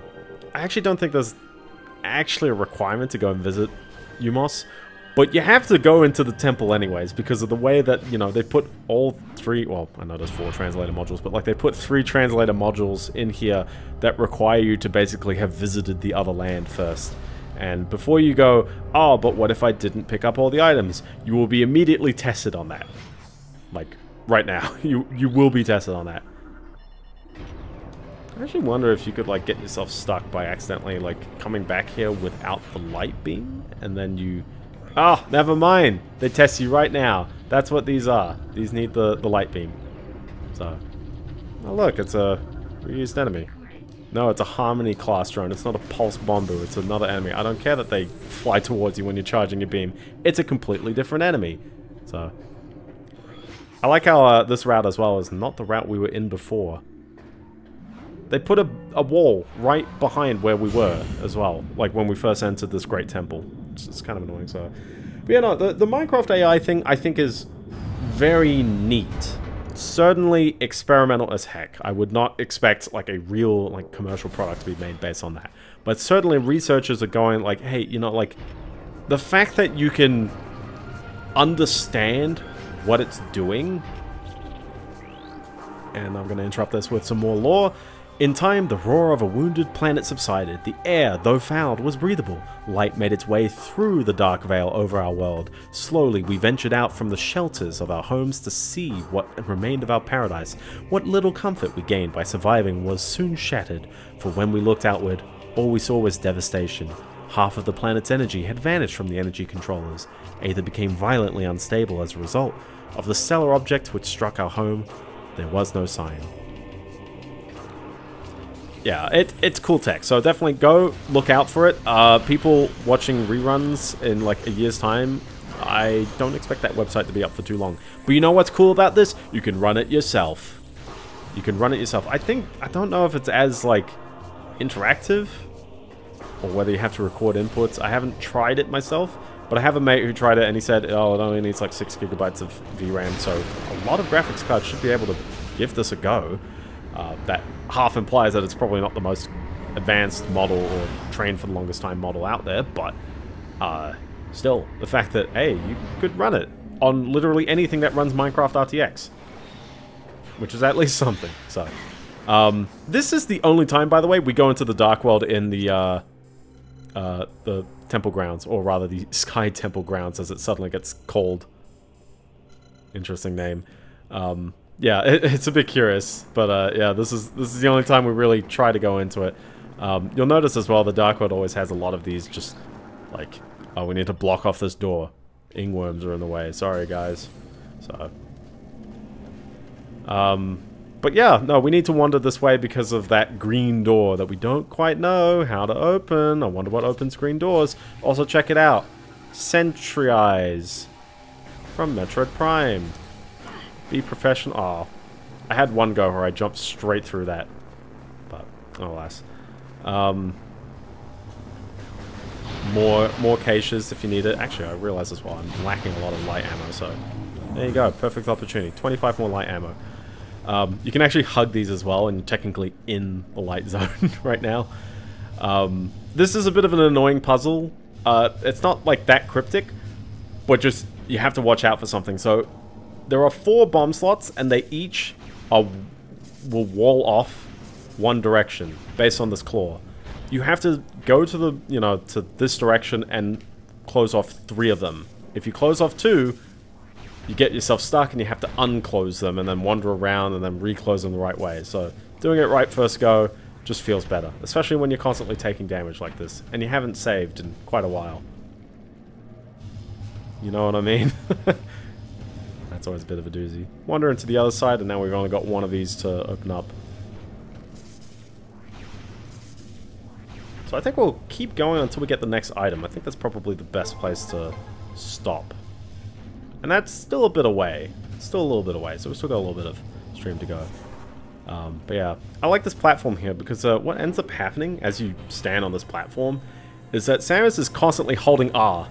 Suddenly, you're stuck still, and so just mash A. Mash A as you're looking forward. The camera even turns the right way as well. Just keep mashing A. Keep mashing A. You can look up a little bit, but hey, you're fine. Just mash A. These enemies will drop lots of health and you're also in an area that's healing. So then you're all good. And we can shoot this light portal here.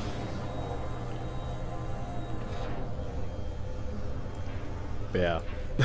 the Dark World for the, the Temple Grounds was very short-lived. But it just serves this little interesting little puzzle to wander around here.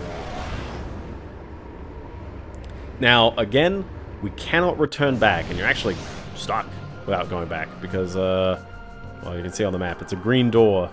Actually, not even you can see, as in, it's a green door. Can't open it. Can't open it. I wonder what opens it. Oh well.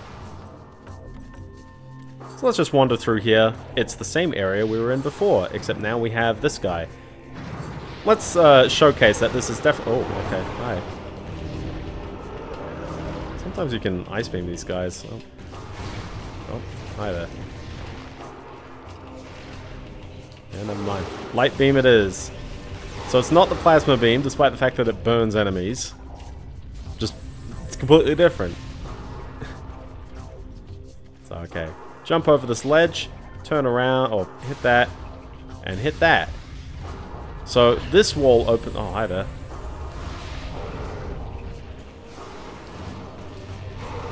There you go. Easy. So that wall on the side opens up this, which leads to another green door. Can't deal with that just yet, but uh, moving this block here allows you to make this jump, which seemed a lot more achievable in the, in the Dark World, wasn't it? They're really testing. You did pick up the light beam, which needs the dark beam first, so... But I guess they don't need you to get the dark suit first. You're going to be a bit stuffed if you don't pick up the dark suit, so... Yes, I know there's a hole there. We'll come back here later, don't worry. Maybe not in the stream, actually, later, but just keep mental note. If you see on the map, there's a little tiny... Little tiny, uh... Oh my gosh. A little tiny route. That's how you get back to the other side very quickly. We'll go there in a little bit. Uh, other than that... Oh, also, um, Prime 1 never had any cliffs. If you try to jump off the, um, the, the part with the Meta Ridley fight at the end, uh, there's just an invisible wall. This game does have cliffs. You can jump off and take 10 damage. There's not that many cliffs, but the fact there are cliffs is just a curious point to me. Anyways, scan this and we shall have entered the, I guess it's the third world technically because the temple grounds counts as a world. I find the worlds are like, yeah, they have two ideas going on. So we had the desert area of the Agon Wastes and then the space pirate half of it. Um, this world is no exception, although I don't think we'll visit the second world this stream. Um, oh, we've still got Shriek Bats, everyone's favorite. Also, I forgot to scan... It's not in this room. Actually, there's a giant machine in here, which I always find is very curious, as air purification. But it's not, it's not being maintained and will die. Just like your air purifier if you don't replace it. Mental note. Uh, yeah, we've got these uh, hanging pods up here, which is kind of neat. and uh, wander into the next room and we shall have ourselves our cursory glance at uh, the Torvus Bog. We didn't have a swamp level in the first Metroid Prime, so... I do like this Torvus Bog in terms of it forces you. It really does force you. Also, watch out. These enemies are just annoying. They pop out. They're called Shredders. But they pop out and they sort of chill in there and then they maybe explode at a later point. There you go. Take that time. Uh, we've also got a little bit of lore here, or is it Keybearer lore?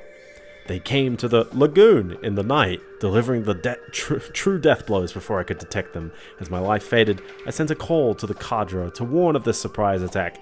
May they find my key and dispatch the Ing who killed me. Only then will my final rest be peaceful. What an interesting uh, lagoon, he mentions. Have you noticed a pattern going on?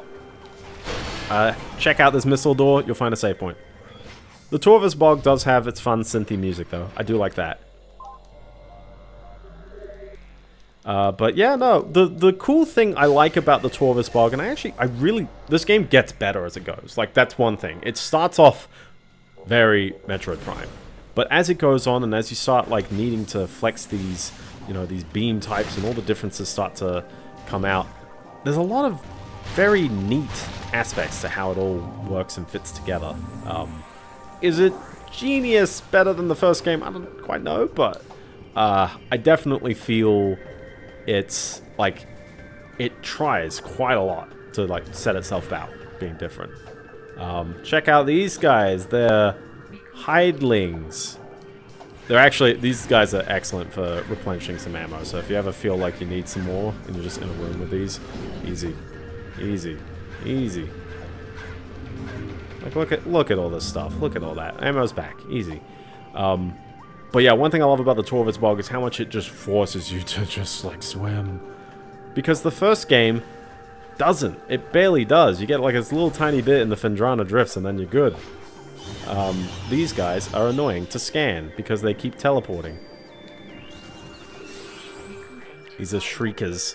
They basically say, uh, fire sonic blasts, and they they are stealth. So, time to ignore them for the most part. Um, there's also uh, this thing. It's a crystal. It's just here. I think it's just telling U-Mos what's happening, which is interesting. But yeah, head through this missile door. There's a lot of other doors in that room, but you don't need to worry about them. Uh, there's a portal here. Uh, we will not address this for a very long time. And we are back to the lagoon room. But now, scanning this panel raises this bridge and basically lets you have access to two different doors, so... Serves as a mild checkpoint. Hi there. Hi there, I shall be leaving. You'll find that there's a lot of these connecting rooms. That seems to be the structure a lot of the time. I guess Metro Prime 1 also had a lot of connecting rooms, but sometimes it would have connecting rooms connect to connecting rooms. Like, it felt like there was something quite... Oh my gosh.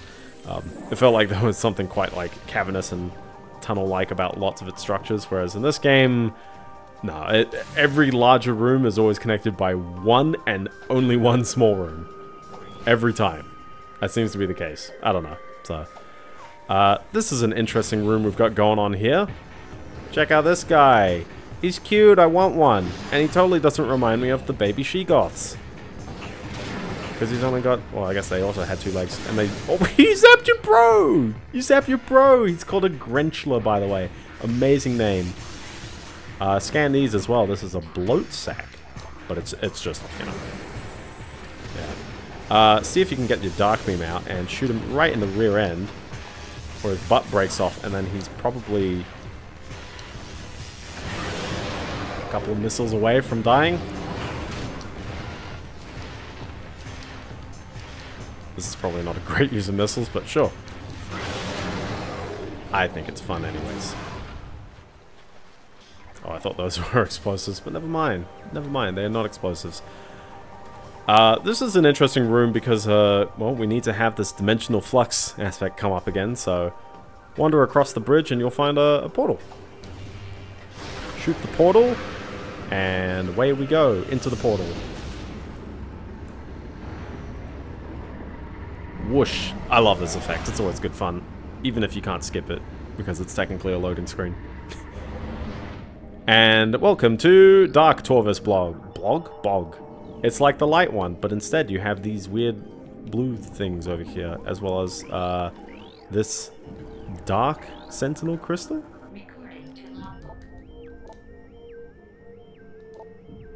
It also tells U-Mos what's going on, so... Anyways, we got uh, this Ingification, as well as this, a dark Flogus.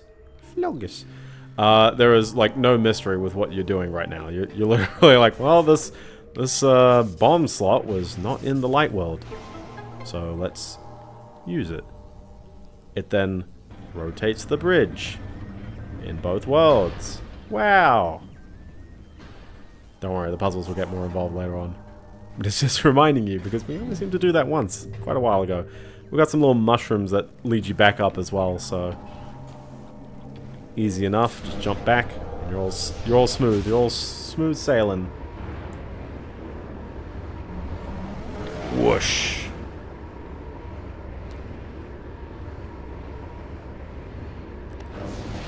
So this should now be as easy as you now go on your converted bridge, and hey, check it out. Oh, these guys are annoying, because one, I can't scan them again. This is Dark Pirate Commandos. These are actual intense guys now. They're not just Dark Space Pirates, they're Commandos. They phase in and out of time-space. How do you take... Well, first of all, don't get bombed like me, or pelted with stuff. Did I just shoot him? Just Oh, yeah, he is casually there. Yeah, they, they phase in and out of presence, but they're still there sometimes. Uh, but since they're dark enemies, they do take light shots pretty, you know, pretty heavy, so... Hi there. I was expecting you right there, wasn't I? Uh, at some point, they do bugger off, though. Oh, I did get one. Hitting it with a dark beam is kind of cruel, though. Hi there. How you doing?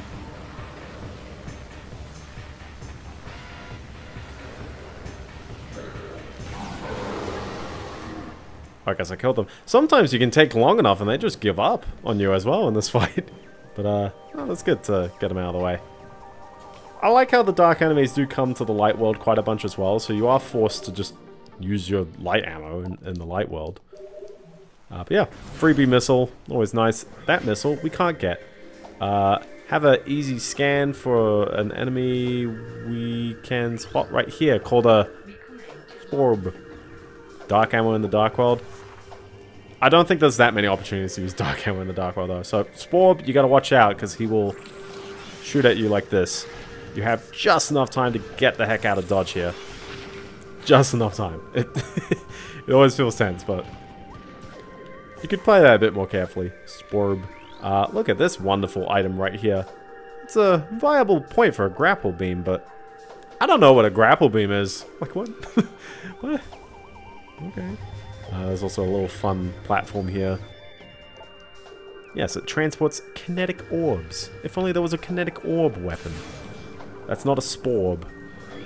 Uh, this is the room we were in earlier, but now I have the ability to scan this one platform, which, or this one panel, which reveals the orb cannon. Everyone likes a good old orb cannon. Uh, you can use this high ledge to jump back to that light door as well, which is nice. Yeah. Also, check it out. I wonder what this is. Denzium? Oh, okay. Uh, there is a lower door. There's a reason why I haven't uh, gone through the lower door. Uh, and that is uh, demonstrated by this. So we've got this wonderful walkway, but if you use your morph ball, you'll spot that this one has cracks in it. You can bomb it, fall down, there's an energy tank, and then you're on the underside of this area. And there's actually a couple of neat things on the underside here uh, if you had a weapon that shot through a green door. So, uh, this is an example where the save point is a little bit awkwardly far away as well. But fortunately, this isn't actually a boss, technically. So, there's, there's no retro achievements telling you off for not doing this in time. Um, but yeah, no, that energy tank, it's useful. It's fairly easy. It's a little bit out of the way. You could probably pick it up, like, later. And the Shriek Bats always keep respawning. But, hey, if you're also playing on hard, I think it's worth it. Just, you know, from time to time. Grab your grab your freebie energy tanks instead of trying to wait for the very, very optimal point in the game to grab them if you're playing on hard. I don't know. People try to optimize the heck out of like, oh, do I pick up this item or do I pick up that item? That's that's always a, a toughie. Uh, well, we're gonna have to do a fight. There's no one actually to scan in this area. These are all just regular space pirates. Well, that one is. I think we get some some dudes flying out of there as well. Oh, there we go. People optimize the fun. That is true. There, and there are people who do enjoy the min-max game, and there's people who enjoy the speedrun game, and there's people who are like frame perfect, like fighting game players. They're always like the scariest ones to me because I'm like, man, I do not play fighting games to like, well, not I don't play them as in like, how dare you enjoy it like that? But it's like, I, I'm very inconsistent with my input sometimes, and I've actually gotten remarkably like chill and zen playing Guitar Hero now. And that's taken like a ton of expertise from my end. But like, yeah, fighting games are like, man, I, I basically have to relearn that all in order to make that work, so. Uh, we'll get there eventually, but yeah. Uh, anyways, check it out. They were just holding on to this the whole time.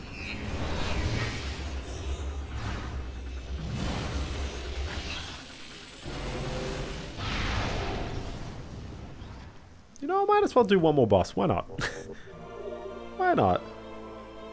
So anyway, this is the Super Missile. It's the same as the regular game Super Missile. It's hold down A, hit Y, and then you'll do a strong shot. And it's actually a really good strong shot, and you'll probably be relying on it quite a fair bit. But uh, unlike the first game, they uh, made a lot of doors use super missiles. I guess it's like Super Metroid. If only we could open the green door. Yeah, exactly. Exactly. All these green doors, no match. No match for the super missile. It's good fun that that's the case, and I, I do like how they managed to get to reuse the colors from Super Metroid, albeit you have to sort of accept green doors and yellow doors, which sometimes show up, so... Anyway, scan this uh, terminal. This time it's right in front of us, as opposed to, you know, off to the side. A great warrior comes to the Temple of Torvus. May you succeed where I failed. I am A-Voke, the last sentinel of this temple. Heed my words carefully. As you can see, this temple has been crippled by the ravages of war. While the main chamber has been mostly preserved, the remainder of the temple has been flooded. You must use your abilities to venture into these flooded areas and find the keys you need to enter the Dark Temple. The waters of Dark Aether are foul and venomous. Avoid them if you can. I have updated your translator module. You can access device sensor doors coded with emerald holograms. Search the area is now open to you. The Ing will seek your light with great zeal. Do not underestimate them.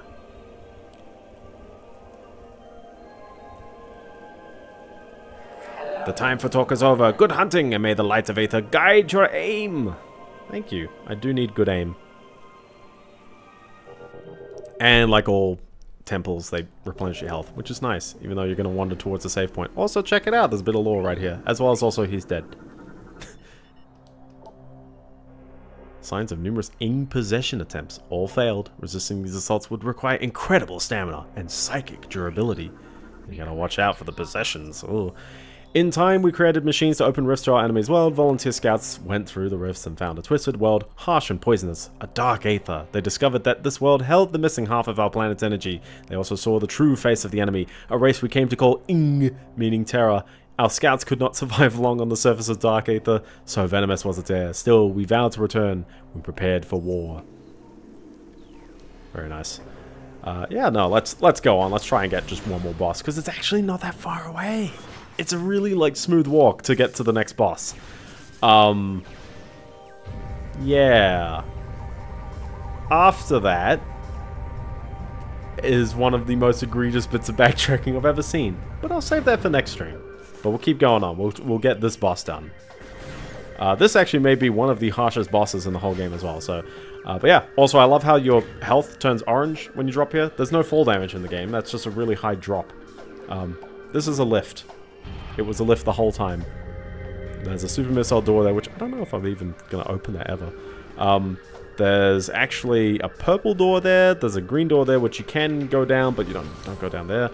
Uh, what about the green door we got in this little morph place before this room? The little morph place. Uh, I haven't opened that. That's actually a, um, a map station. So I'm going to completely ignore that. but yeah, yes, you can go back for that.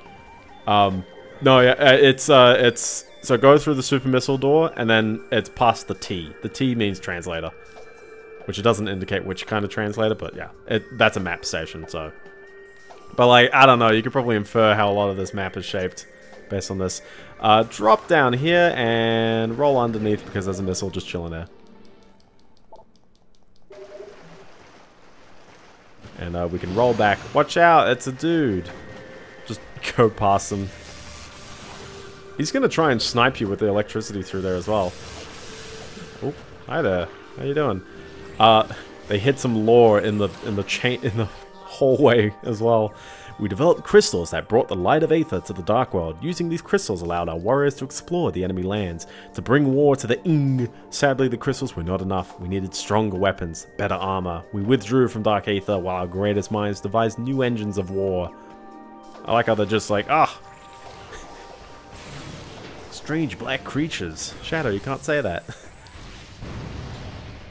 Anyways, let's go to this door. Oh, sorry, disgusting black creatures. That's the line. That's the line. oh, wait, no, Sonic said that, didn't he? That's a Sonic line. What the heck, Sonic? Uh, so here's some even tougher enemies. These are the pirate command. Hold on, did we fight dark pirate commandos earlier? Regurgitator shot. We've done the reverse right now. So these guys are a little annoying because uh, they have shields, but fortunately, uh, super missiles are not their friends. Oh, they did suck my shot just in. But a super missile and a charge shot is pretty much all you need. Actually, did I hit this guy? I didn't hit him like square on, but uh, it's not too bad. There's only two of them.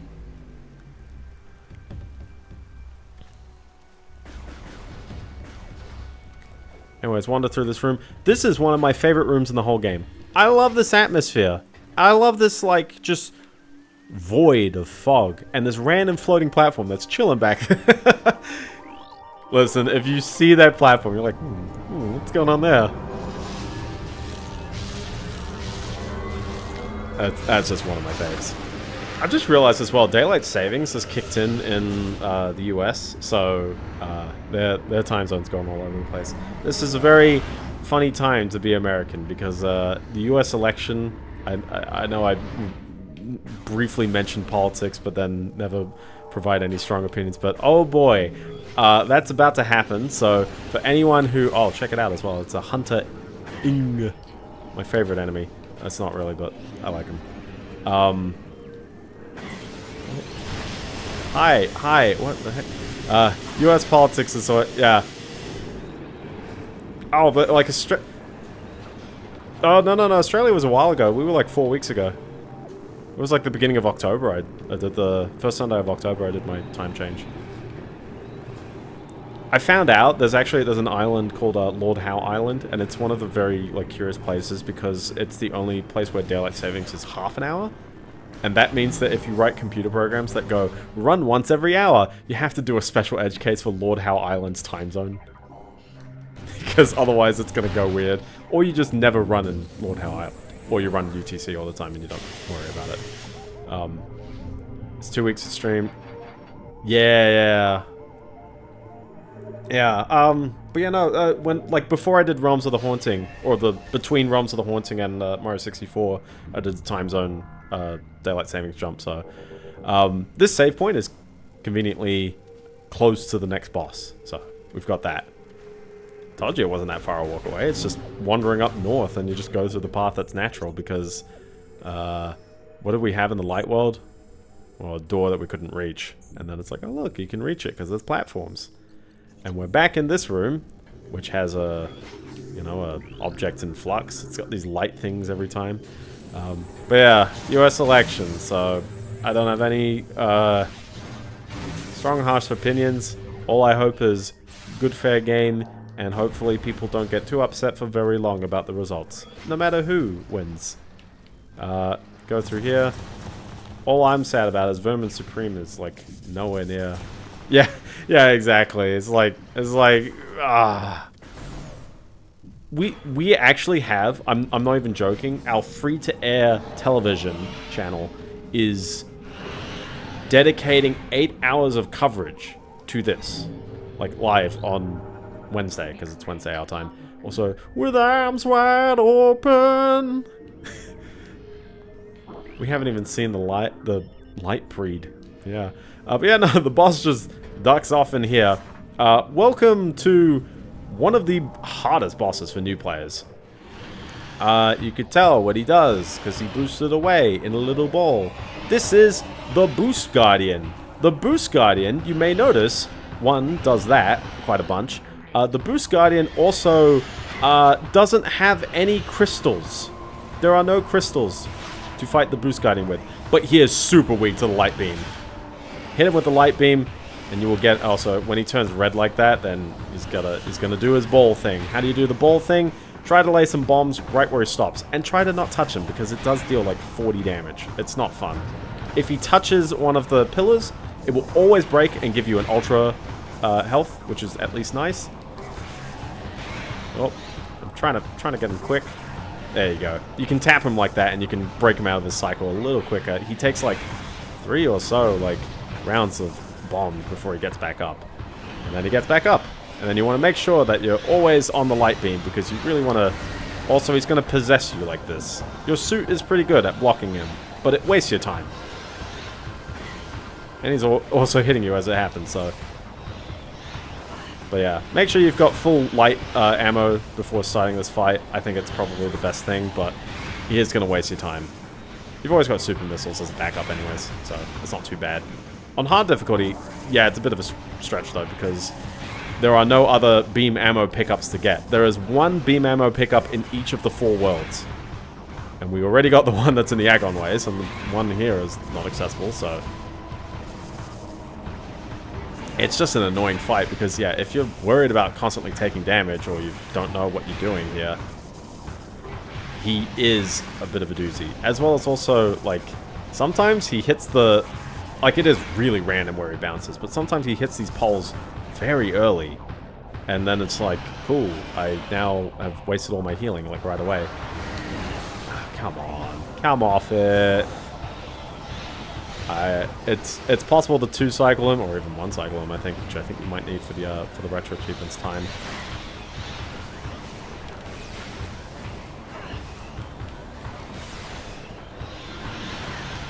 Ah, I went into his phase again. And, I mean, I've got four uh, energy tanks. Uh, imagine the first... Also, uh, he's nice. He'll run into his little mini ings, by the way. And then they'll constantly drop light ammo. So even if you're not shooting with dark ammo, you will get maybe some 3D light ammo. From time to time. Not all the time, but from time to time. It's, yeah, it's it's like a real turbo boss fight, I'll tell you that. But you've just got to, like, be on top of it and just watch out for this pinball lad bouncing all over the place. There's probably an art to breaking his uh, his run quick. Wow. Okay. Sure. oh, like that, sort of. I, I'd imagine TAS runners on this uh, boss have a field day because there's a lot of fun things you can do with him. Okay, this should count as dead, I think, according to the leaderboard. there he goes. Look at that, some free light ammo. We did scanning, right? Yes. but there we go. We've beaten this boss. Yet again. Or not, well, I beat him yet again. That was the first time you saw me do it, so... And, uh, wouldn't you know? Well, he dropped a lot of health, so feel free to pick up the free health and stuff like that. Look at that, full health again. And we have acquired yet another one of our old items. The Boost Ball. These animations are neat, I'll tell you that. Uh, but yeah, no, Boost Ball, just like it was before. You hold B and you can boost. The effect is a little different this time. Uh, makes it quite clear that it deals damage, I think, by making a big shock around you. Uh, around? Oh my gosh, I'm... I have a list now. Uh, use this to gain momentum, allowing you to boost out of here. But obviously, you saw that key. That's right there. This... You, you don't miss this key. It's kind of annoying to have to backtrack here just to get that one key. It's right there. You might as well get it. So, obviously, we know where this is going. Also, yeah, you can use the boost to get past that. So, nice. Uh, but yeah, I think this is a good place to, to call it. Um, we're going to have to save point in the next room, so... Uh, and uh, you can't move this just yet, so don't worry about it just yet. Um, but yeah, now we've got the save point back here, and I think this is a good place to call it. We've gotten, we've started the game, we've uh, we've gotten uh, the missiles and the uh, morph ball bomb and the space jump boots and the dark beam and the light beam and the dark suit and the super missile and the boost ball. Lots of stuff. This game goes very quick, I tell you, but there's a lot of cool things in it and a lot of stuff. So I would highly recommend playing along, and I'll continue more later. Also, 55% of the scan, so if it felt like a lore dump, we've gotten through more than half of it already. So, uh, and a quarter of the items. So we'll go, we'll continue on more next week. But until then, thank you so very, very much for watching. If you enjoyed, uh, you can follow on Twitch, 8.30pm Australian Eastern Daylight every Monday, and follow on YouTube. We're at 2,001 subscribers. We did it. We broke the 2,000 mark. Very happy. I'm, I'm happy about that. Uh, how long will it take to get to 3,000? Hopefully quicker. I, I got like about 150 or so subs in the year, which is faster than I've gotten them before. And yes, follow me on the Fediverse. Yes, m.biendeo.com, where I'll say things sometimes. Um, that's all good. Uh, I should probably have like a take about technology right now because I'm still like, I. I've gone a whole stream without mentioning Hardware Unboxed when they said Raptor Lake was worse than Arrow Lake. And I'm like, ooh, that's spicy. I'll save my opinions on that for later, so follow me there. Uh, but yeah, no, other than that, have a great week ahead of you. Do amazing stuff. Don't stay up too late. Eat your greens. And uh, play this game. I enjoy this game a lot, so. Peace, peoples.